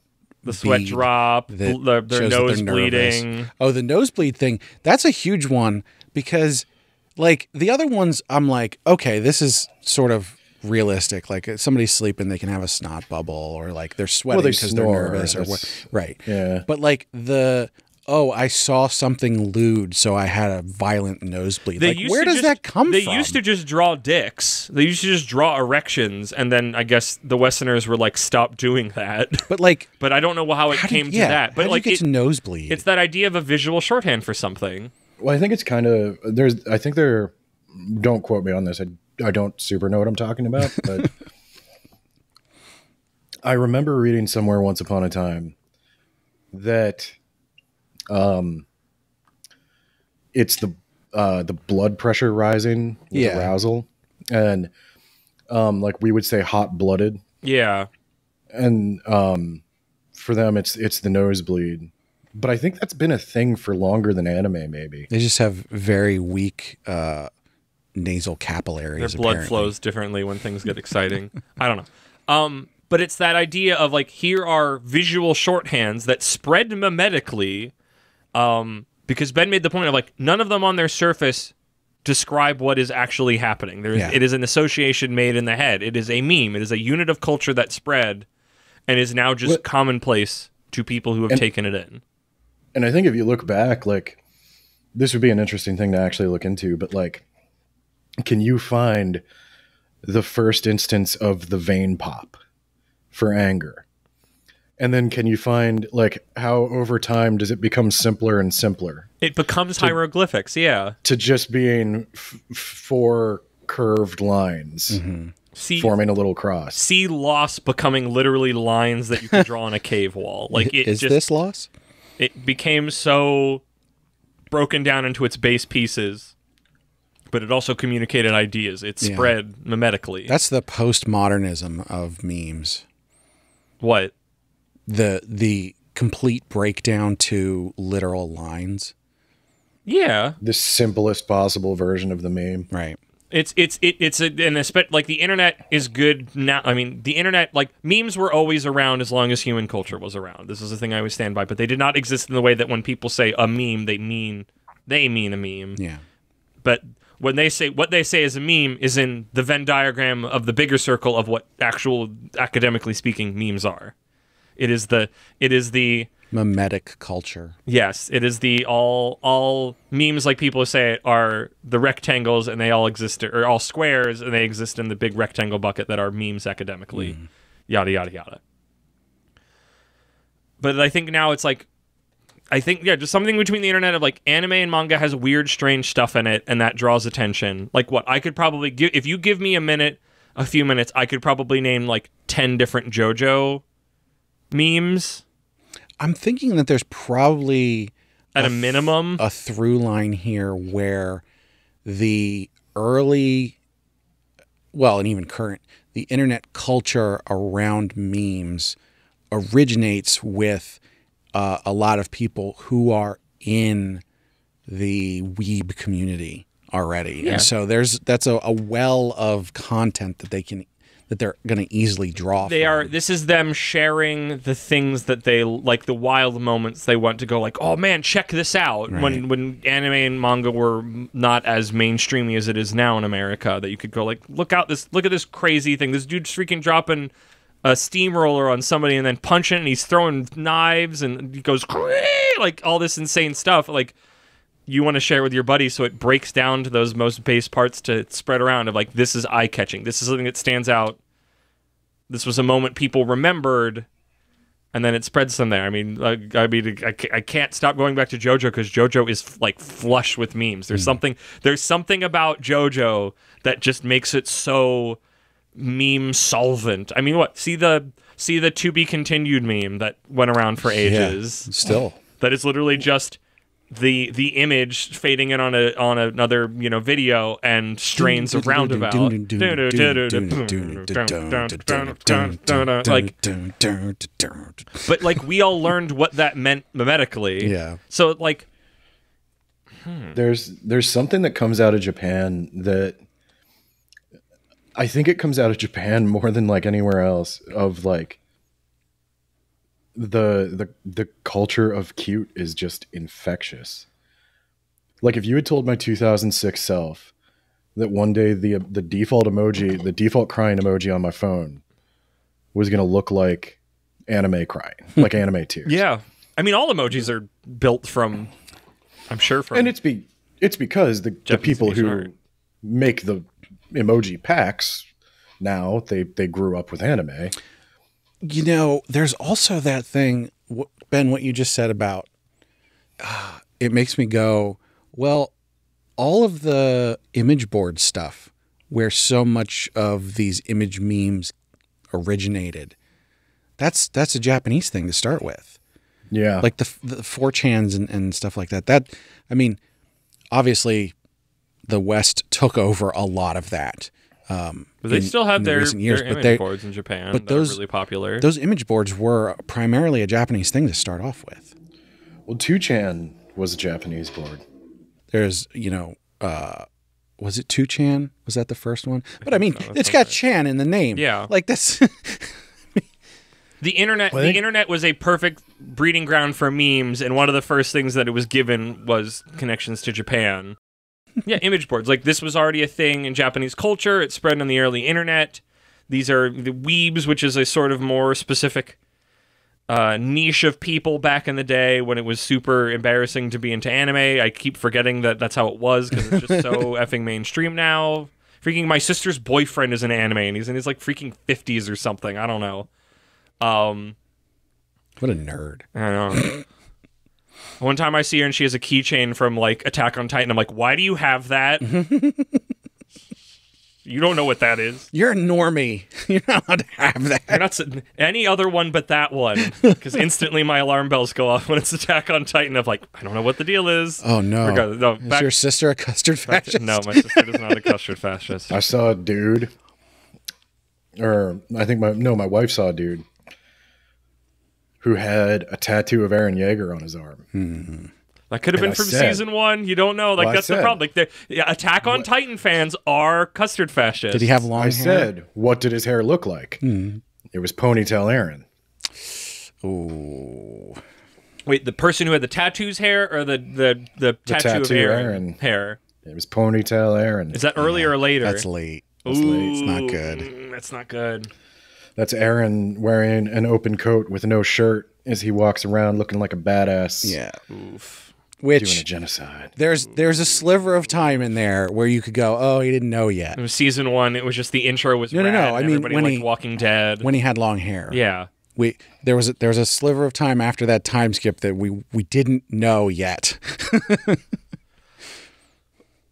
Well, okay, let's let's think because this is this is a thing we do a lot of going like, oh, this is all in Japan, and then we go like, well, no, we have this in America. What else is such an engine for memes outside of anime here? And the one answer that comes to my head right now is SpongeBob. Admittedly, yeah. like SpongeBob is an infinite engine of memes in the same way Which JoJo is, is- but a lot of that is just based on That's shared. just an American anime. Yeah, it's shared upbringing, Well, I but think we don't have that with anime as much. I mean, it's cyclical. Like a lot of the Popeye stuff and the Looney Tunes, like vaudeville stuff, got brought into early anime. But for America, I'd say it's probably movies. I mean, you see them using American movies in uh, anime now True, as yeah. means. The Chainsaw Yeah. Man opening is It's just literally movies. yeah, it's just a series of memes. I But no, I, I think it's Hollywood for us. I, I like I like that that happens. That there's this weird kind of cultural exchange. Exchange is the key word. because it's not just oh we're taking all their stuff. Or we're giving them all our stuff. yeah, It's I think that's definitely there. nice. There's that. There's that future episode that someday, if I finally sit down and do the research of Hamburger Shonen, It's coming. It's not. It's not appropriation. It's appreciation. It's it's it's an exchange. it's evolution. We're trading. We're mutating. It's trading cards. It's We're making each other better. You give us Yu-Gi-Oh and Pokemon, we'll give you Magic the Gathering. I don't know who got more effed up by that. Probably We gave us. more than we think they got was- I there, don't think except got- Pokemon. I don't think they got as much for Magic that we got out of Yu-Gi-Oh. Were you telling me that, or was I just listening to a podcast while walking down the steps to the studio area that there was a, no? I think that was from a podcast where there was a Yu-Gi-Oh tournament, and part of it is that you have to specifically submit the a list of the cards in your deck, and if one of them, if there's an extra one and one is not there, you get disqualified. Hmm. And somebody attempted to to skirt the rules of that by taking one of their opponent's cards, eating it, and then calling one of the tournament heads over and going, "This person doesn't have is missing one of the cards on their list." Wow. That's dedication. Yeah, I'm fascinated, but also I pro- I want nothing to do with that human. That human is probably Right. no, no, that human is either like thinking at fifth level chess and it was they thought it was funny, or they're like fifth level rancid. Don't talk to this human. They probably need a shower. Yeah. So That actually sounds like they might need evaluated. yeah, That is. I would say like some 99, 95% that, 5% like somebody just fucking around and thought of like a s- like a dumb, but yeah. But I don't think you would. Turns eat out it. the card he ate was worth like seven hundred dollars. Yeah. I've eaten your pot of greed, which I, whatever. I don't think that's trying to. Regardless, um, I mean, yeah, Pokemon's freaking memetic as heck, and that's the like that is a cutesy virus that spread. Yeah. Like it's all over the internet. Jelly donut. Um, Jelly donut. there's there's also, and I think Ben was was touching on this already. Um, but this this through line we have because emojis are somewhat memetic. Yeah, and they're from Japanese reaction little faces that they Right. draw to ASCII art. But even, I mean, beyond that, I mean, just like just the way that we use them today um, for for various things. I mean, like the freaking eggplant emoji, which is like whoever put that in there in the first place in into Unicode or whatever it was was like, oh yeah, we have broccoli and we have a tomato and here's an eggplant and blah blah blah. Here's a peach. And yet that turned into what it is today, Correct. which if you don't know, don't look. Um, come on the Discord, we'll explain it to you. Um, but as Ben was saying, like so many of those emojis have migrated from the the original Japanese ASCII emojis. Yeah. Which- Memetic, uh, uh, image short uh, image shorthand. We we go back to the thing we were talking about in manga, where it's like, how do I capture this emotion succinctly? and I, I think it's it's interesting because it's the kind of thing where we have this this communication that happens where like written and spoken language doesn't matter. It doesn't matter that you don't speak Japanese, that a Japanese person doesn't speak English. These tiny little pictures convey so much information about a person's feelings with no words. It's it's a it's a memetic form of communication. Yeah, it's why the freaking anime and manga memes when we were growing up spread around so much because these are these insane visual situations that you don't necessarily because they're probably not dubbed if they even have any audio. Like freaking, I I mean, it's probably a little later than that time period. I'm like thinking of like Nichijou where you see the president or the school principal suplex that deer. Yeah, I And it's like, that's an image about that floats one. around. I was thinking about that because that's like an insane thing that you would just see or like any like just little gifs of like weird old anime stuff because it was Yeah. something that spoke to people in a niche community and they it spread around and you just by virtue of the internet being a, a an open place of things people can just happen upon and be like oh what's that like it's very Old man what's that driving in a car, eyes go wide. Oh, that one's my favorite. what I don't even know what that's from. Neither do I. Um, what is I don't what did you just say There's the was- guy. He's as a Japanese guy. He's driving in the car and he's just like smiling, and then his eyes oh then go goes wide because he like th- remembered something. Oh, is that anime? I always Yeah, thought that was it's an like. Boondocks or one of the studios that did that because No, it looks that's- very like that style. I know what you're talking about. Um, but no, that's that's an anime. That's I mean, Yeah. Yeah, that's an anime. um, I at one point I found out what that was from, silly but I don't remember faces, it. silly faces that you can use to express ideas to other people, But that one's great. or just they're funny and you that share one them. has evolved so much because originally it was just like a GIF reaction for the Yeah. longest time, but now you can literally just have the static picture of him in the car looking normal, like before. And you know what it is. reaction, You, and you you're can like, oh, two frames, or I you know- don't even yeah. need that if you know it. Yeah, exactly. it's. I- I'm I'm. I I find this interesting because you know like.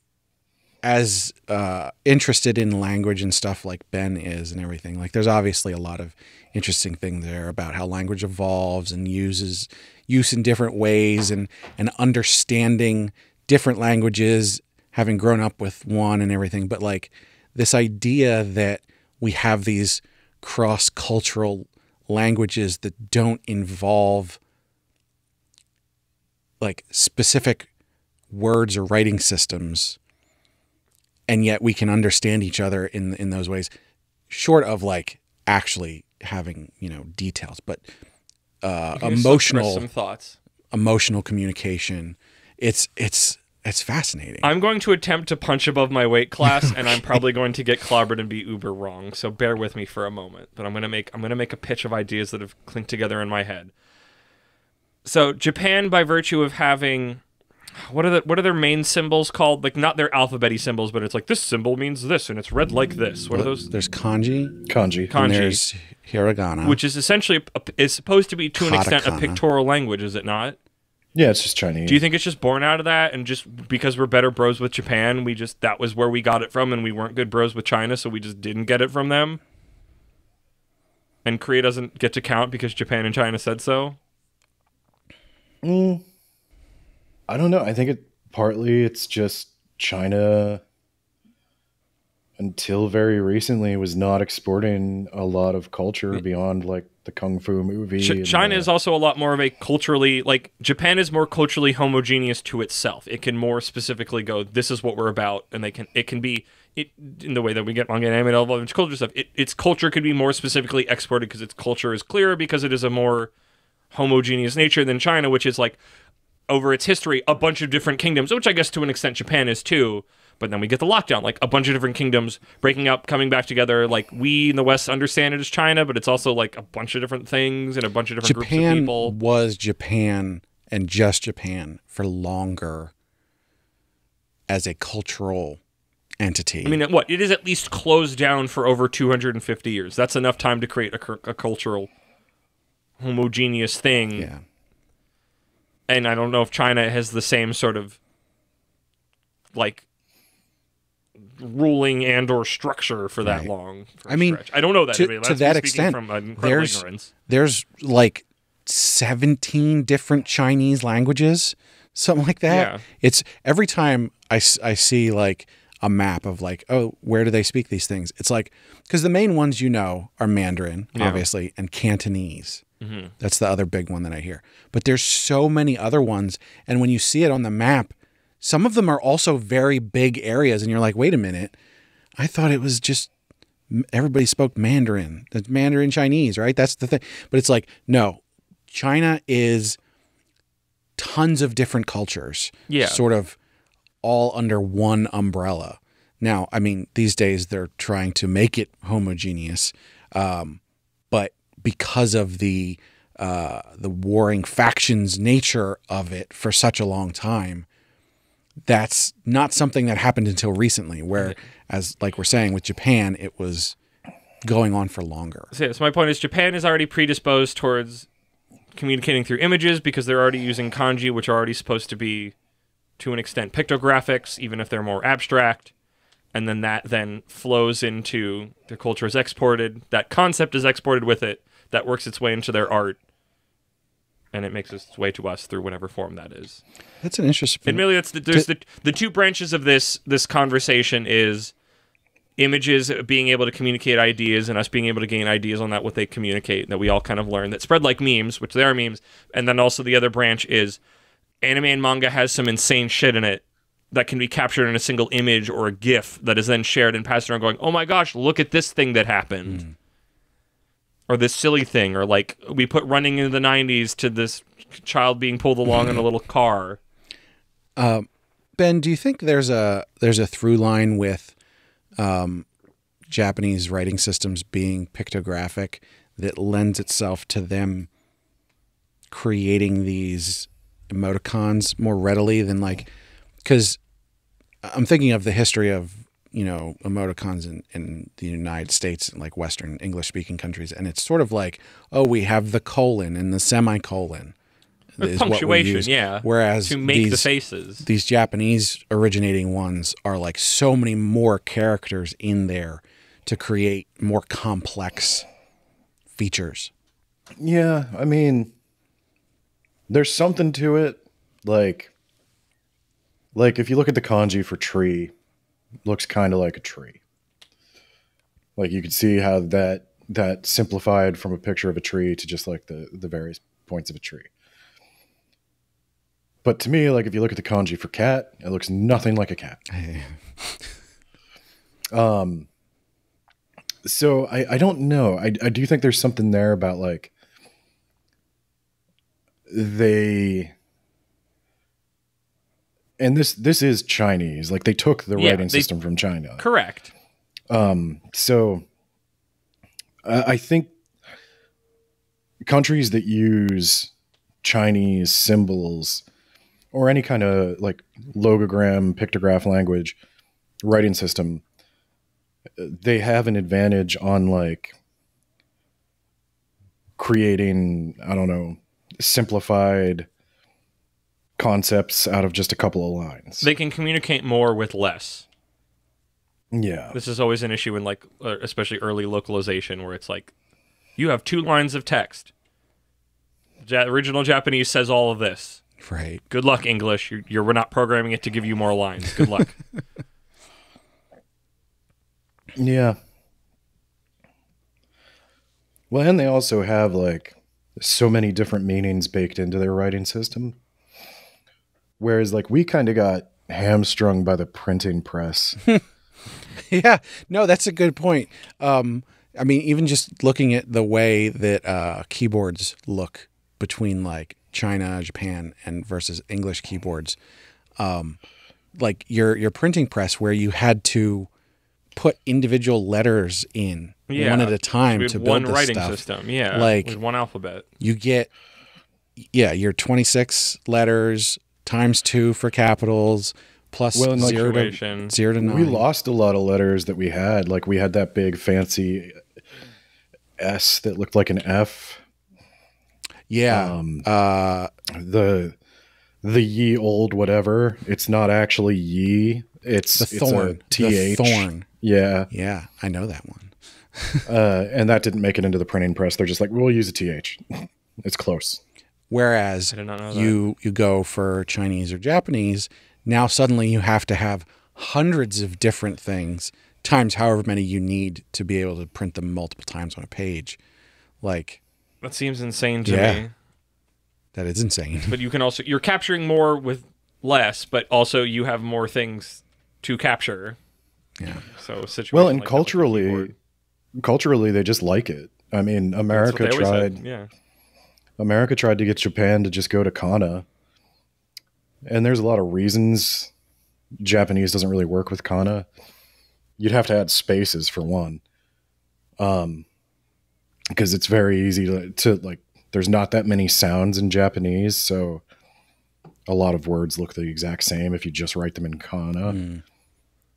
Um, but they push back really hard against that. Like America was really pushing after World War II. It's like you will come up much faster if you simplify this writing system. We need to get literacy rates up, and this is just too complicated. And they're like, no, we'll just solve it with systemic abuse. As we always have. children. We'll just make another different but uh, language system, but not the one you asked for. It's always worked in the We'll past. make a language. We'll make an entire alphabet for babies. we'll beat the children until they know 2,400 characters. Insanity. Hmm. I mean, I guess I'm speaking as an ignorant American, so Um, well, before we wrap this up, uh, there's just one more quick thing I want to hit because um, in our notes here, uh, Ben has something specific about Will Eisner. Did you want to expand on that? Oh, the the inspiration for this was kind of um, I've talked about it before on the podcast. Will Eisner is a big figure in comic books. He he did the Spirit. Um, he I think coined the term sequential art, whoa. and I, I mean, um, the spirit was a long time ago. yeah. and he also is the you know the Eisner Award. He's the namesake of that. right. Um, he has in his book sequential art a whole thing on using the the tools available to you like the culture knows these shortcuts you don't have to reinvent the wheel use he basically says use what what we might call memes Oh, so use recognizable images. so Will Eisner would have loved Isekai. Are you specifically talking about the art? Die. Shine even. Cease to be at this blasphemy. But yeah, Yes. um, Images. Art. yeah, like we we have, and, and and a lot of the stuff in the old comics comes from like the big overstated silent movie dramatics of like a guy who's surprised jumping up in the air with his arms out and his legs in front of him, Acting The- to the the- rafters. Yeah. the eyes coming out of the head, the the heart beating out of the chest, like there's there's just easy ways to communicate that like in one panel this guy's having a strong emotional reaction. And he does talk a little bit about how like he uses hieroglyphs to talk about how it evolves. But No, I thought it was interesting. I think it definitely applies to a lot of like reading that book with anime in mind. It's interesting to see how strong the influence has been. It's I- a lot more connected than we, we would have thought that far Yeah, back. No, I think there's a direct line there from Will Eisner going, here's how you can get across a bunch of stuff in a single panel to here's an image on the internet that expresses an emotion that many people can feel and that will spread. The Yeah. the the memetic nature of the whole thing is completely connected. It's been I mean, you said it earlier, all of human history. We just didn't have a word for it until recently. Well, we've had a word for it since whenever whatever language meme is from is just recently it became culturally Richard known Dawkins. instead of scientifically known. Did he coin that phrase or did or He did he just start using it the Meme most? instead of gene. A meme is a cultural unit That's that Brett's. evolves similar to a gene. Yep. The memes, Jack. Metal Gear Solid referenced it decades before it mm-hmm. became a thing on the internet, and they were right. He was right. Well, good for Richard Dawkins. He he might be onto something. Good old Yeah. Kojumbo. Well, well, there you have it. Yeah. I think feels like we just scratched the surface on it a little bit. I mean, there's a definitely- lot going on. Uh, we didn't We need more. We need more academic backing, but I Yeah. think we, there's something here. we didn't we didn't do intense research on this one Yeah, like no. we did like you did for Commodore Perry. Um, but it's an interesting con- conversation to have, and um, you know, tying it back to Kagurabachi, I think there's there's something interesting there in the way that these memes can sort of potentially bring light to things that people wouldn't otherwise see. yeah, it brings attention to things. yeah. You go, "What's that?" You dig through it. good stuff. ご覧のスポンサーでお送りします。 Hey, did you know that in Japan they have different kinds of foods than we have in the West? Wow. Well, if you're curious about it, you should check out Sugoi Mart. Sugoi Mart has a wide variety of snacks and drinks from Japan that you can't get anywhere else, as well as toys and merch from the land of the rising sun. Wowzers. For example, I have with me today some Kit Kat, some Japanese Kit Kat, which Mein God. we think are just white chocolate. Ben, can you see that? No, I can't really make it out. I'm sorry. Well, I I'm, do think it's white chocolate, though. The book said it was white um, chocolate. I'm going to open them up and see. Brad does not believe me. The validity of my statement. I believe you. I was just trying to make sure. Oh, they're a little bit melted. I recognize the character for white. It's because they're Yeah, yeah, sent. that's enough. They were sent from Japan, and so they sat in some hot stuff for a little while. Unfortunately, It's that it's that box with a mm. line in the middle and a little hat on it. That's the character for white. I've got some little cherry gummies that came with its own little toothpick, and they are really good. They are popping cherry. yeah, I think it's just word white chocolate. choice. Not intentional. Can you tell what those are called? Um, no. Hakujin means white person. Is, is the Jin the person part? Is that where we get Gaijin, a foreign person? Yep. Look at me learning things. It's cherry something. Nihonjin, Very America Jin. Yeah, you also get like a toy or little thing that are just slowly becoming fidget toys for me around the house. I want to say last box we got. That's specifically Japan Crate, which is not. It's affiliated with Sugoi Mart, Oh, okay. but many of the items that we get in the crate, Sugoi Mart will s- sells individually. Correct. Because we got some. They're like pretend fake soda little plastic containers that have like gack goo in them. And let me tell you, somebody likes fidget toys. It's really fun playing around with that goo. I also have some kind of rice cake treat thing here. Can you see that, Ben? You know what that says? AB. That's what that says. Baby. AB. Baby. Uh, yeah, there's not really much else on here. Should have grabbed the booklet. The book. Far as- There's a booklet that comes with the box that tells you things. Oh, there's a lot in here. Holy crap. Ooh. It's like a little tray of little rice crackers. Ooh. These cherries are delight. I mean, they're rice crackers. There's not a whole lot of flavor, but they're It's nice. We got a very. I think nice there's furikake on here. the wave with art that was essentially the wave on it. That was it was it was a nice fan. Hmm. Did not feel the cheapest. Some of these have more flavor than other ones. It's actually really good. Oh man, I'm just gonna sit here and eat all of these. We're all eating. It's a good time. That's this could be you. You could have been enjoying these same exact treats. If you go to Sugoi Mart. Well, as a special offer, our listeners can click the link in the description or use code APR15 at checkout to get 15% off their first order. So check out Sugoi Mart today. Thank you, Sugoi Mart.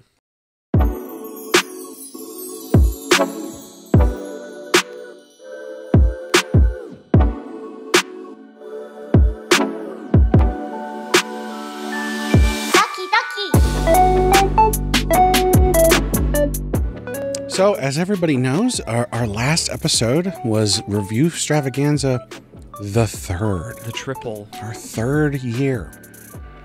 And as we've been uh, going through all of our episodes, we're at episode 31 now, which is crazy. Um, I thought now would be a good time to start a new kind of thing for our, our manga book club where we sort of roll back the clock a little bit and revisit some of the series that we've talked about in the past. Since it's been so long, Been a long time. a lot of these series have moved very far on from where they were when we originally talked about them. So, to kick things off, we're going to roll back to our very first episode and we're going to talk about Frieren. Wow. Soso no Frieren. Or Fr- and after funeral. Or Oh, is that what that means? What's I didn't know. I never knew the full title. um what's the what's the I forget what the, Soul Soul no Freer. what's the English title now? Frieren Beyond Journeys. Beyond Journeys, Yeah. right? Yeah. yeah. Well, more and poetic. Probably as lot good a poetic way of transi- doing it. translation as you're going to get. Yeah. um, but that's actually a really good point, which is we are so far along in Frieren that it now has an anime, and in fact, a really, really good anime. Literally a great, not even just like oh the best of that season. Like genuinely like a. We're going to be talking about this one Right. for a long time and recommending it. so Not even an, a, a glimmer in anyone's eye as an anime back then. I would say. Um, I did not uh, re-listen to the episodes, but um, I know that we talked about Frieren on that first episode, and I want to say that we were at like thirty chapters or less at that point. It was really That early. would that have been that would have been pre, um, the the wizard training, right? yeah, Yeah, because like I, I, can, I can picture me talking about losing steam on the manga in my main room, which gives me a timeline of when we recorded it. yeah. But Um, yeah, wa- wow, wow, so much has happened. We've Yeah. got a lot. Like we're more.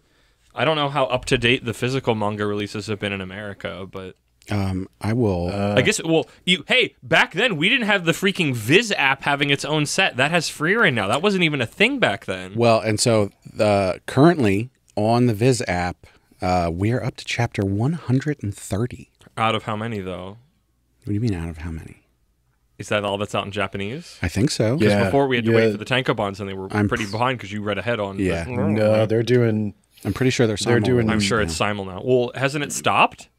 Uh, No. it- it's it's weird because um, when I first started reading it, it came out very consistently the whole time, and then right before the anime came out, there was a break, and now it seems like they're not on a very consistent schedule. right Sometimes season two of the anime. Comes Maybe. out. They're on a break. sometimes there'll be like a bunch of chapters week after week, and then it'll stop for a while. And so right now, How long's a um, while though? I think the last chapter came out nearly a month ago. So okay, I they could mi- have it might be there was- like I remember month hearing about a something like a while back. yeah, I told you about that. There you go. Um, that was uh, that was right around when the the anime was going to be coming out. okay, so that makes sense. yeah, um, the the creator went on a break before to probably Right. produce on the anime. And so I can only hope that that's what's going on now because season two of the anime is gonna be crazy. Uh, every everybody who has watched the anime, uh, I'm sure pretty much everybody's on the same page that it's amazing. Um, but as we got to the end of the first season and we um, we met all these people during the uh, the tournament arc, the the mage exam arc, um, the uh, the old man. Oh God, I'm blanking on his name now. Um, With a D. Denken. Dankin. Um, Some Dankin. I didn't even know Dankin last time we talked about Frieren. We hadn't met any of these people. the uh, the main arc that's going to take place in season two is going to revolve around Denken and sort of his uh, uh, his backstory and like what he's trying to accomplish and that kind of stuff. And we're going to meet one of the most compelling and interesting demons, villains of the whole thing. It's just I, I think it's the best arc of the entire series. I'm so excited to get it in the anime. Big words. Um, the, I don't know if I don't know if I feel as strongly about it as you do. really, I liked it. Um, the one and now without getting into too many spoilers, there's there's two demons. There's there's Macht, and then there's like that witch demon. yeah, she plays less of a role because it's sort of, uh, it sort of revolves around Denken and Macht and their Yeah. relationship, and because Macht is really weird for a demon, and people are going to get into this arc and go like, wait, Frieren was wrong. Demons aren't just all monsters. Like people are going to revert back to their their episode one, two, three feelings on like demons. right the whole time. Um, and you know, it's not a wrong feeling to have. It's a very interesting and compelling storyline. Um, I was, I've been, I've been in the camp of demons are like tigers, basically the whole time. I, I never really questioned Frieren when she said, "No, they're monsters." The everything they do, including talking to us and quote unquote empathizing, is just a way for them to hunt us. Um, but it is a really interesting look and exploration of the way that can play out. So, um, if if you're not on board with Frieren yet, now's a really good time. You can go, you can watch the first All season of of the anime. Proper season one is out because the two cours got separated. Uh, that's how they do things now. The English version is completely out now. Yeah. If you need to watch it that way, I don't particularly say- recommend it, but it's not bad. the The new arc, the the Macht arc, is a lot better than the mage exam arc. Yes, It's more in Frieren. Frieren plays best and- with emotion and character Right. study and I not didn't- combat. I didn't dislike the mage exam arc, especially as you know Kermit fell off of it at that time. I Um, watched the anime then. I was- the anime elevated it. I was on the Yeah, fence of sure. of you know is the anime making it better in the early episodes. I was basically like it's this is a very good representation of the manga, but it's not really elevating I had it. But when we moment really early, actually no, when did we got did further a on, yeah, and especially into the mage exam arc, it's like, oh, this is really really good. this is really doing something. I get to play with a lot more, and it moves along nicely. Yeah. for Yes, the part. pacing. Oh, that was. I mean, what is it? Was twenty seven episodes, right? Something The, like that. the mage exam, I sort of Um, said for reading in the anime, it could have been a little thing. I know you're a lot keener on it than I am. I still think it got bogged down a little bit with too much with too many people I didn't care about. But I know at least in the anime, it coming out of it, that it kind of felt like it slimmed up and got more back to what made Frieren What- there's there's something important there which we didn't quite get to in the anime yet. Um, a lot of the characters, and not really the ones that you don't like, but a lot of the characters um, get some exploration and backstory, which I think we'll get in the second season, um, especially with Denken, obviously. yeah, but he's some the of one the I want to know more about. um, it'll be later in the second season uh, with Land and um, Ubel. There's there's more of an exploration of them, um, and that I think you, you maybe could have gone about it in a different order, but like you sort of need in order to do their emotional explorations, You you- need other world information Yeah. from other people. So yeah. But no, So it- I'm sorry, you go, Ben. No, I was gonna say I actually have one criticism of Frieren. as a whole or the anime Yeah. specifically or Well, yeah, as a whole, I guess. Um, and it's one thing that's been bothering me, and now that I've read like 130 chapters, uh, I can tell you, I think we might have went way too hard on Sein way too fast for somebody who still has not shown back up. Yeah.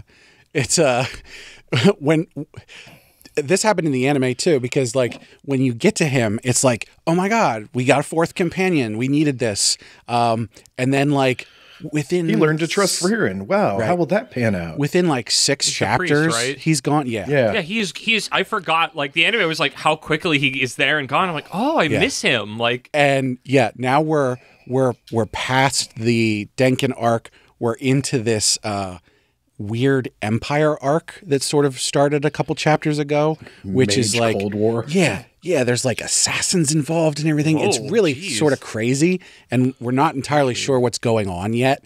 Um, and Sein's still nowhere to be found, and it's there's no just sign like of him. uh, you There's you no build him up to be really Thank you, Ben. important. Thank you. Why did I know you? Brad? Brad just completely steamrolling. No, I got it. Okay. I can't laugh loud. That's fine. I will- you I just I saw the chuckle on your lips. That's all I needed. Um, but yeah, it's like they, they build him up so much, and he was a very important character for those couple episodes, and he's just gone. Just, the author was just like, I'm done. And maybe that's on purpose. Maybe that's the point is that we can have these very short relationships that feel so important at the time. And it's not that it wasn't important, but it's just we thought they were going to last much longer and they didn't.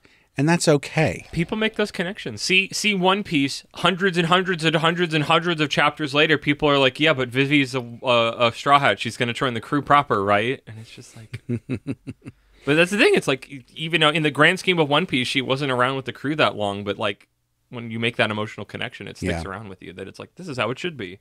So I understand your point, Ben, but you know, it might have been on purpose. That might be to to be an exploration of a specific part of Frieren's emotional journey. Or maybe he just didn't fit, and the author just wanted to stop writing him. Well, I think the author definitely introduced him earlier than they were ready Maybe. because he is coming back because he's connected to Kraft and the age of the goddess, and so is Serie. Um, so they're obviously going to get into that at some point because that's the deep lore of the world that even Frieren doesn't know. Well, Serie is back now in the Empire arc. Um, yeah. But You're lucky I don't remember names very well and don't know what you're. T- you're lucky I ca- don't tell me. I don't want to know. she's the elf, I'm sure. the one you hate. Yeah. There's a bunch of other names. I don't care. The The foot. yeah, I know. elf. I know. oh, the f- um Gross bare feet. I generally trust this mangaka. Um, Oh. Short of their horrible misuse of German, which personally I can forgive. Sorry, Cake Dwarf. Um, I think that a, a, their setups and payoffs are done very well. Um, I know that you know, obviously, Kermit, you've got some parts that you aren't all about. You know, My trust was never broken. Nothing was ever bad. It was just like this isn't what I came to the grocery Hmm. store for. But for me, every every setup has had its payoff, and every um, every path taken has resulted in some kind of learning experience. So I'm I'm still I'm fully on board. I am riding this train to the end. So I I hope I mean I know other people really like it as well, but um, I hope it I hope it keeps this up. I'm looking forward to season two. I mean, it, what? It's going to run out of things for the anime to cover before. I think- They probably have enough for a season two right now, but that would be it. Yeah. Um, I don't. You'd have to wait for a while. It's always the trouble when things get popular, and it's like it's going to be a while until there's enough to warrant it. Plus, I can't wait to just get more of that like massive animation budget spent on just the most innocuous things. I love that. There's got to be a word for that, right? Like somebody's got to make some pun Yeah. off of Sakuga that describes. yeah, the, it's like, a Sakuga character, except a, a character abuse. I, I'm on the one that sticks to me that I posted about. It was like freaking Ducktales of like uh Louie. Uh, what the heck is it? Louie abu- abuses the animation budget. Mm-hmm. And it's just like really innocuous little movements that are just like you have way too much movement in frames in this yeah. for no reason, but it's just my favorite when that happens. Sakuga might still be the right word, but a lot of It's times we think of that. of it though, because that's uh, in like yeah. big actiony moments, and this is like like you said, like a man putting a coat on, somebody gesturing with their hands. Like there's just they're little life movements, and I really like that.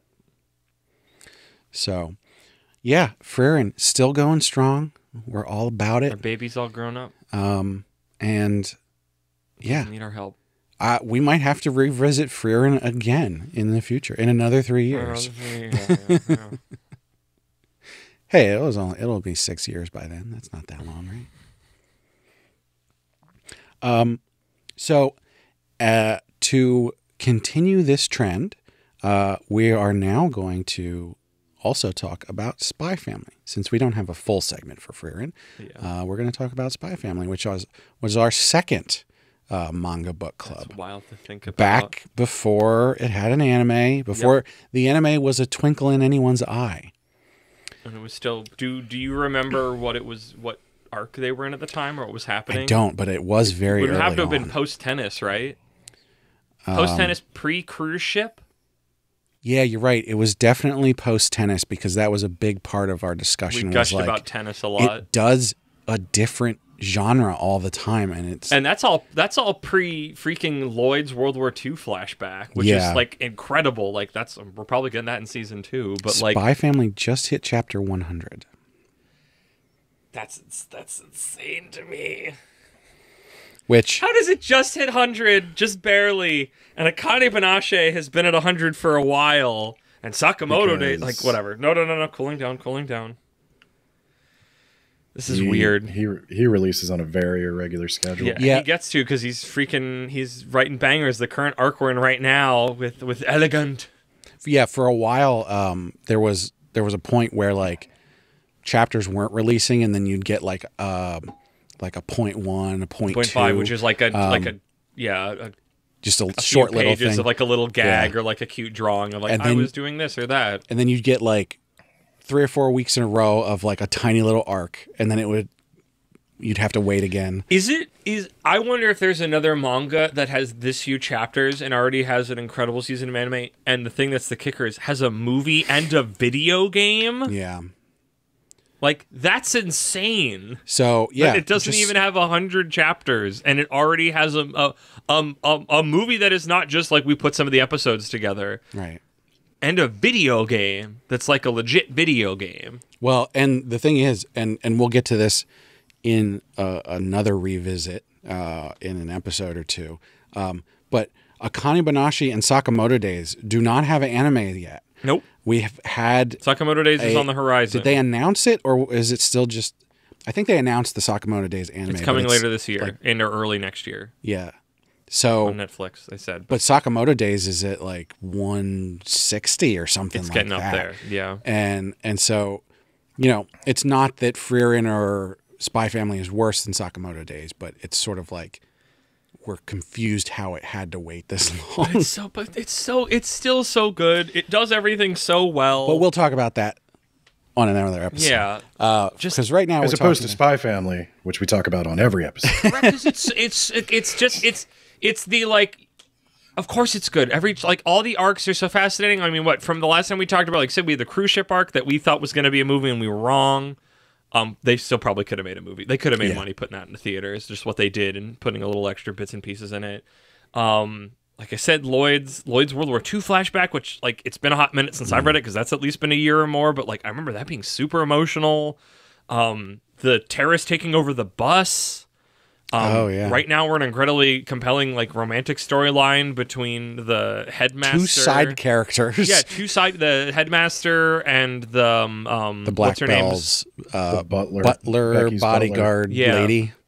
Martha. and it's like the most compelling romance. it's just like oh, like it's, and it just it's so effortless that it just does all these things and it connects them all together in a way of like oh these characters are also connected to the war and this is their incredibly compelling social happenings through this like i don't usually read romances but like relationship stuff for some like when it's snuck into me i'm like oh i'm uber compelled by this that's why i love freaking Helluva Boss and has been because it's just all these messy relationships Yeah. Endo takes his time to write. He doesn't have that freer and uh, sign problem.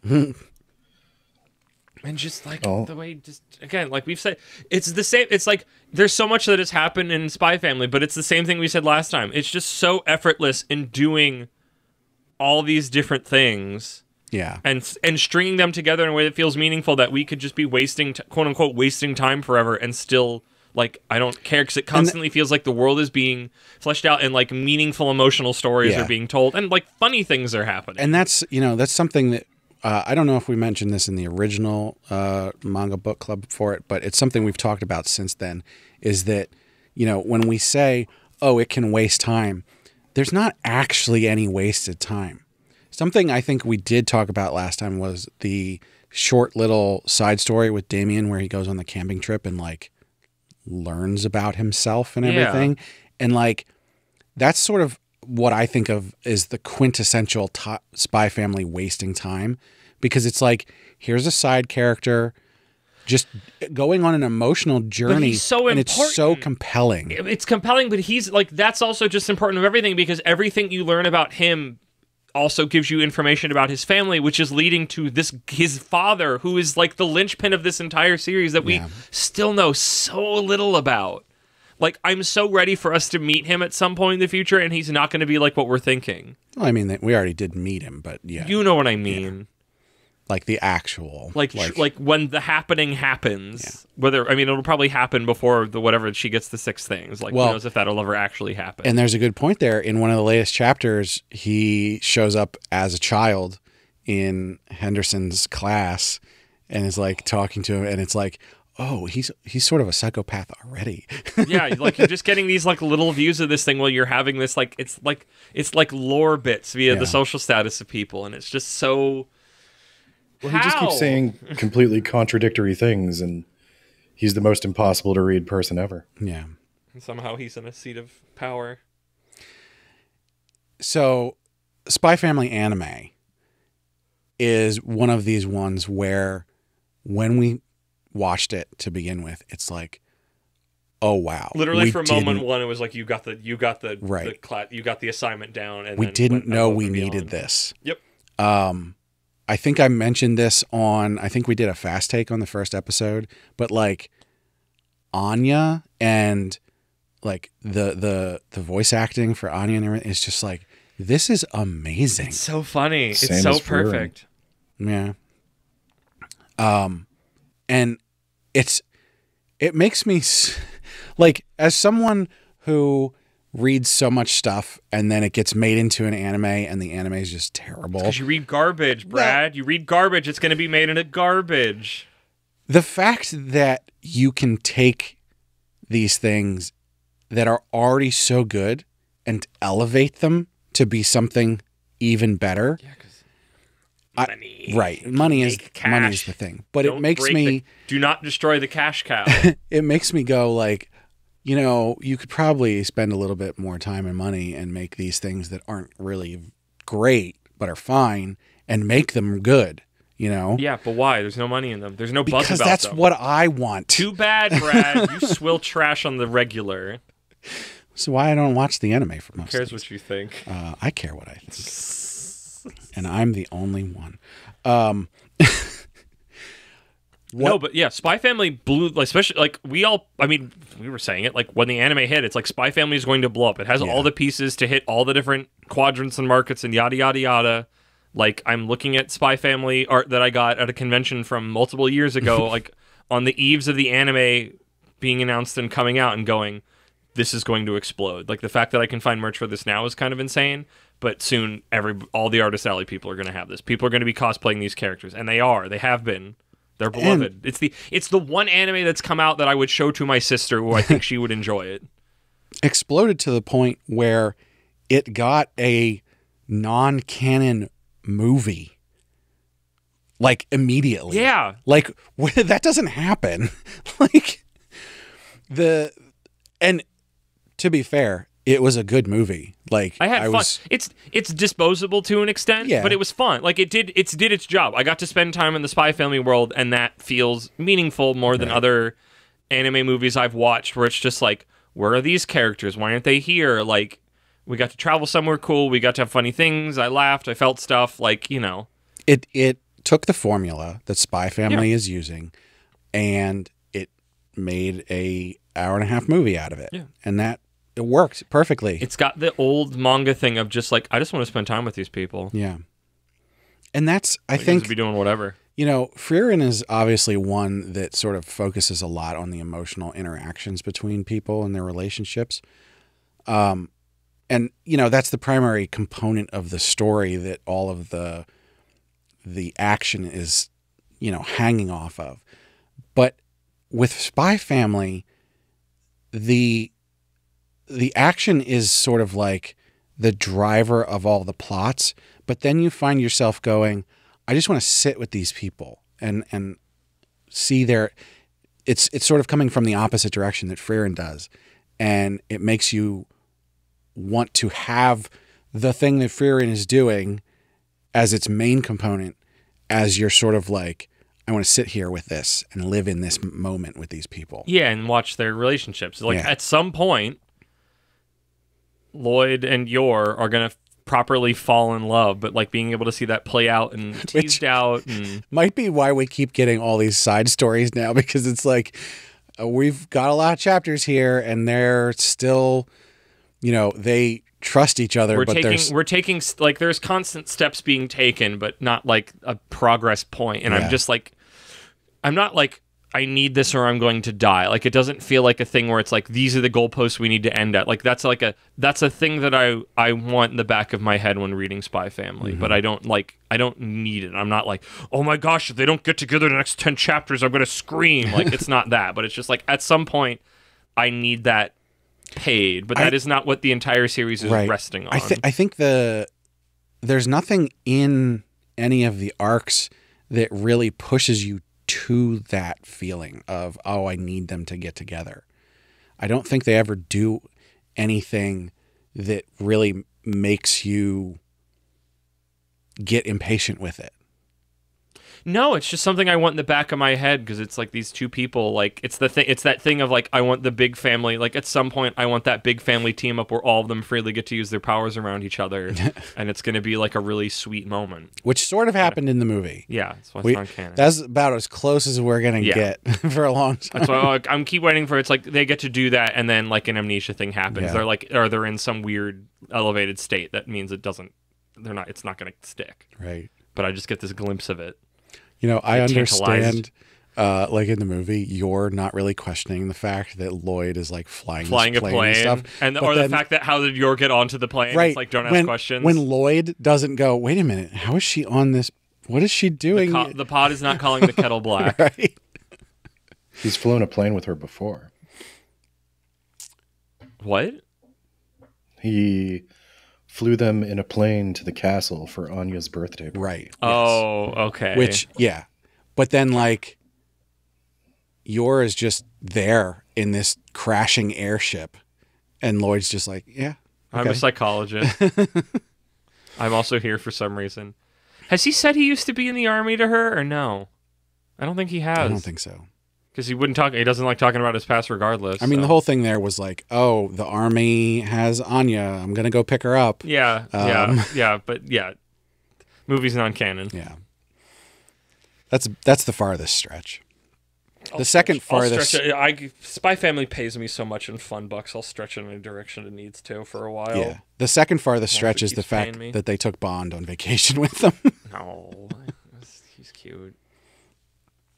um, but yeah, um, those were I can't believe I can't believe it's been three years, Yeah. and it's so amazing to see where those series have gone since then. Of just how much, especially with their anime, both that they got animes, that the animes were incredible, and that they've like blown up across Yeah. things. It's really neat. I I sorta I sorta want to go. Yeah, we called it. I mean, this is the first We get that a little bit. we ever talked about. Here, give us three more years. We get to say that without any doubt in our minds when Kagurabachi anime hits and Mhm. explodes. Like I'm, I'm, I'm the fact that we were there literally day one. That one will be. one. That one's. I think we can actually take credit for that be- because I only started reading Spy Family because I heard about it. yeah. To check so it out. yeah, because when I when I started Spy Family, it was it was quite a few. I mean, in the grand scheme of things, it wasn't that far in, but it was quite a few chapters in. I had seen it on It various survived. places. It had gotten a momentum going. I had seen people go, "Oh, you should read this." yeah. Um, with Kagurabachi, we got that day one. Day one. So Day one, baby. Practically simul released. Calling that to the moon and back. The true true ownership. so, um, Ben, did you have anything to Closing remarks on to Spy wrap Family. up on there? That's good. Mm-hmm. It's a good anime. So, uh, I would recommend it. Recommend the manga. recommend the anime. Still, I would really recommend the most recent arc of the manga. That has been an emotional roller coaster. I'm behind a chapter and I'm just like dying to read it now. you do. Um, I mean, I hope you don't just go read the latest arc and not read the beginning of it. That would be weird. But um, you do need to understand uh, Professor Henderson before you go into it. If you've um, watched the anime, I think you're equipped with everything you need. But also, yeah, just a good read the manga. The manga's really good. If you like the anime, the manga's great. The manga flows like the anime, and you'll just you'll be able to hear the character voices in your head. You honestly could just pick up the manga where the anime's ended. Yep. And It's you're it's, you're still gonna have a great time with it. We did. We all read it, and we had a great time with the anime. Still, I would say, yeah, especially for season one, I don't think there's anything major that got that got skipped. That's something that both Freer there's and not Spy con- Family, there's not enough content yeah, for it to be skipped. um, something that both Freer and, and Spy Family did, which is like they were very true to the manga. They literally just elevated it. Yep. So They knew what they were doing, and they got the Um, budget for it and the time.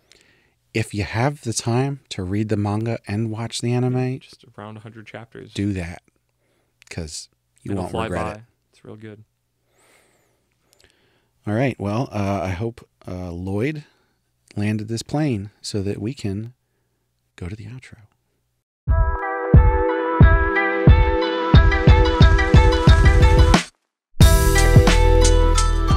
So, thanks for listening to That Time I Got Reincarnated in the Same World as an Anime Podcaster. You can find all of our social media links like Discord, Patreon, and all that other stuff on our website, animepodcasterreincarnation.com. You can also find articles on various topics as well as new manga reviews. Um, I, I don't think Ben put one out in, in the last week or two, but there's a couple up there that uh, No, I haven't. I um, didn't get you. Get ready for a similar thing of a glut of Shonen Jumping the Gun episodes where we begrudgingly have to review three new Exorcist series that I don't want to talk about. Well, stay tuned for next week because uh, I'm I'm moving up our Dear Anemone episode, which Dear- I'd been putting off. Yes, Dear Uh, Anemone died before our died. episode that we recorded before it came out. Um, ben might remember because I, I we talked about it a little bit when we recorded it months ago. Um, that uh, not Speaking of memes, you guys have been talking about that is Yeah. like that is like your go-to like worst thing. it's literally, It's not the worst thing, it's but- dead man. It's been dead man walking since like chapter Yeah, two. I was if not on chapter board with one. that, so- Nobody liked it. um, yeah, everybody should stay tuned. I think it's the Like sub nineteen. yeah 17 chapters. Wild. Um, Please die. I think that's the the the second worst thing. I mean, technically it's three. Well, I'll say two because the two ones that we did on those bad heroin addiction ones are like the bottom. And Okay. So, Dear on Anemone is Jumping like- the Gun of things in Jump. yeah, worse shonen jumping the gun. Even worse Well, than Shadow Eliminators. Yes. Oh, oh The very Shadow much Eliminators so. was just generic. Yeah. But freaking Dear Anemone like is just awful and made me feel bad and pissed me off. So make sure you're subscribed so you hear that next week. Who knows what I said? I don't remember. That was me from months ago. That's somebody else. Anyway, we'd love to hear from you on any of those social platforms, or you can leave a comment right on the site. You can even just send an email to isekaisenseisama at gmail.com.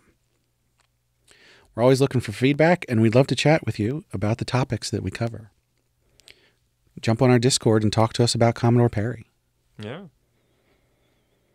If you prefer to listen to, the, to our podcast in high quality stereo, Stereo. be sure to check out our YouTube channel where we simul release all of the episodes. And make sure that you uh, find the version that's like green and has like the, The uh, waveform? the waveform in it because the other version is just the like Google podcast feed version because they got rid of Google podcasts. um, but I think people can subscribe to that one. I don't know if people can subscribe to the other playlist. Somebody who uses that for podcasts, let me know because I'm confused by how all that works. I think it's all just YouTube music now. We also released that version early on Patreon. So if you can't wait, you can join us there and listen as soon as the episode is done being edited. In addition to getting episodes early, all our tiers get to vote on the next series we cover on heroin addiction. All the tiers also get bonus episodes, and I'll point out our lowest tier is only a dollar. Um, and all of our patrons also get a shout out, which is slightly different depending on the tier.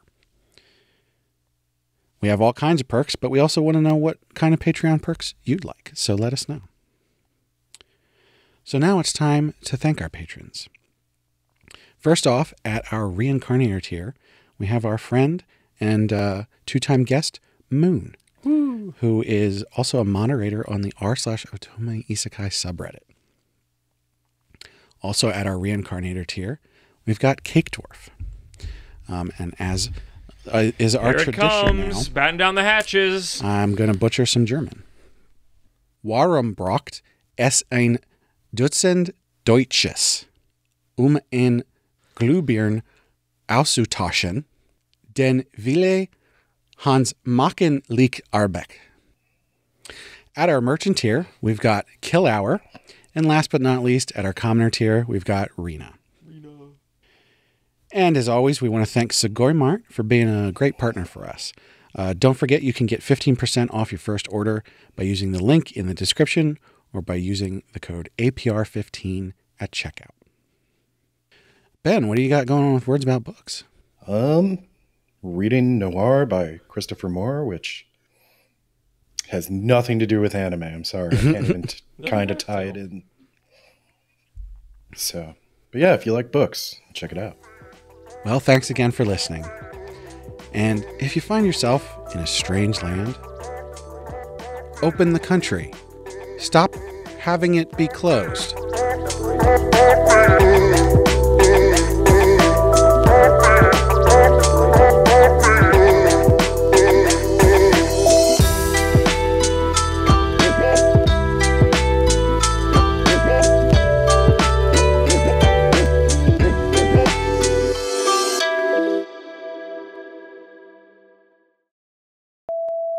No, that was really good. Um, good job. Thank you. That was I was worried that it wasn't going to be very long, but that was like 50 minutes. I had seven pages of notes. I wanted to make sure. I'm glad. Yeah, I, I'm glad I because it's. I am now forever infected with the hardcore history thing, which the Marcus from um, Last Podcast on the Left have is that I have to set up context before I tell the story because if you don't have context, the story has no meaning. yeah. imagine a world. The part where I quote, I was like in my head, I'm reading it in my most um, fuck. What's his name? Dan Carlin. yeah, my voice. Dan Carlin. Ten thousand soldiers. I The. Japanese, they're like everybody else, but more so. what crime is going on where you're at? I thought the first one was a motorcycle going by. Me too. I think this is the cop now chasing the person on the motorcycle. That would be nice for a change. Anyway, image boards. I think it's just furikake on here. What? I didn't hear what you said. I was too busy eating. Furikake. It's like their little seasoning mixture thing. Ebi is, uh, I think it comes from ebi pilaf, a seasoned rice dish with shrimp. Oh, It- that's why I shrimp sm- rice crackers. That's why I smelled shrimp. It's uh, a popular Western style rice dish. It uses Western style rice. As my wife always always says, you have such long arms. She'll be she'll be like, "Oh, I want that. It's so far away." And I'm just like, "Yoink." Gum gum no reach. Yeah, right. This is the Manga Book Club Revisited. Thank you so much for doing that. I'm so glad that no one did that the whole time. I did it in little bits, but I never did like the full on open the country. Stop having it be closed. Yeah, because I was like, "Oh, I have that at the end. I can't. We can't do it ahead of time." That's good. That's good. Thank you. Thank you. I appreciate it. I was. I In was another world is coming or preparing. oh god, I killed Ben. Oof, thank you for muting. That looked rough. hey, he waited the whole time. That was that was impressive. He's a professional. It was a struggle there. I release you. You're free.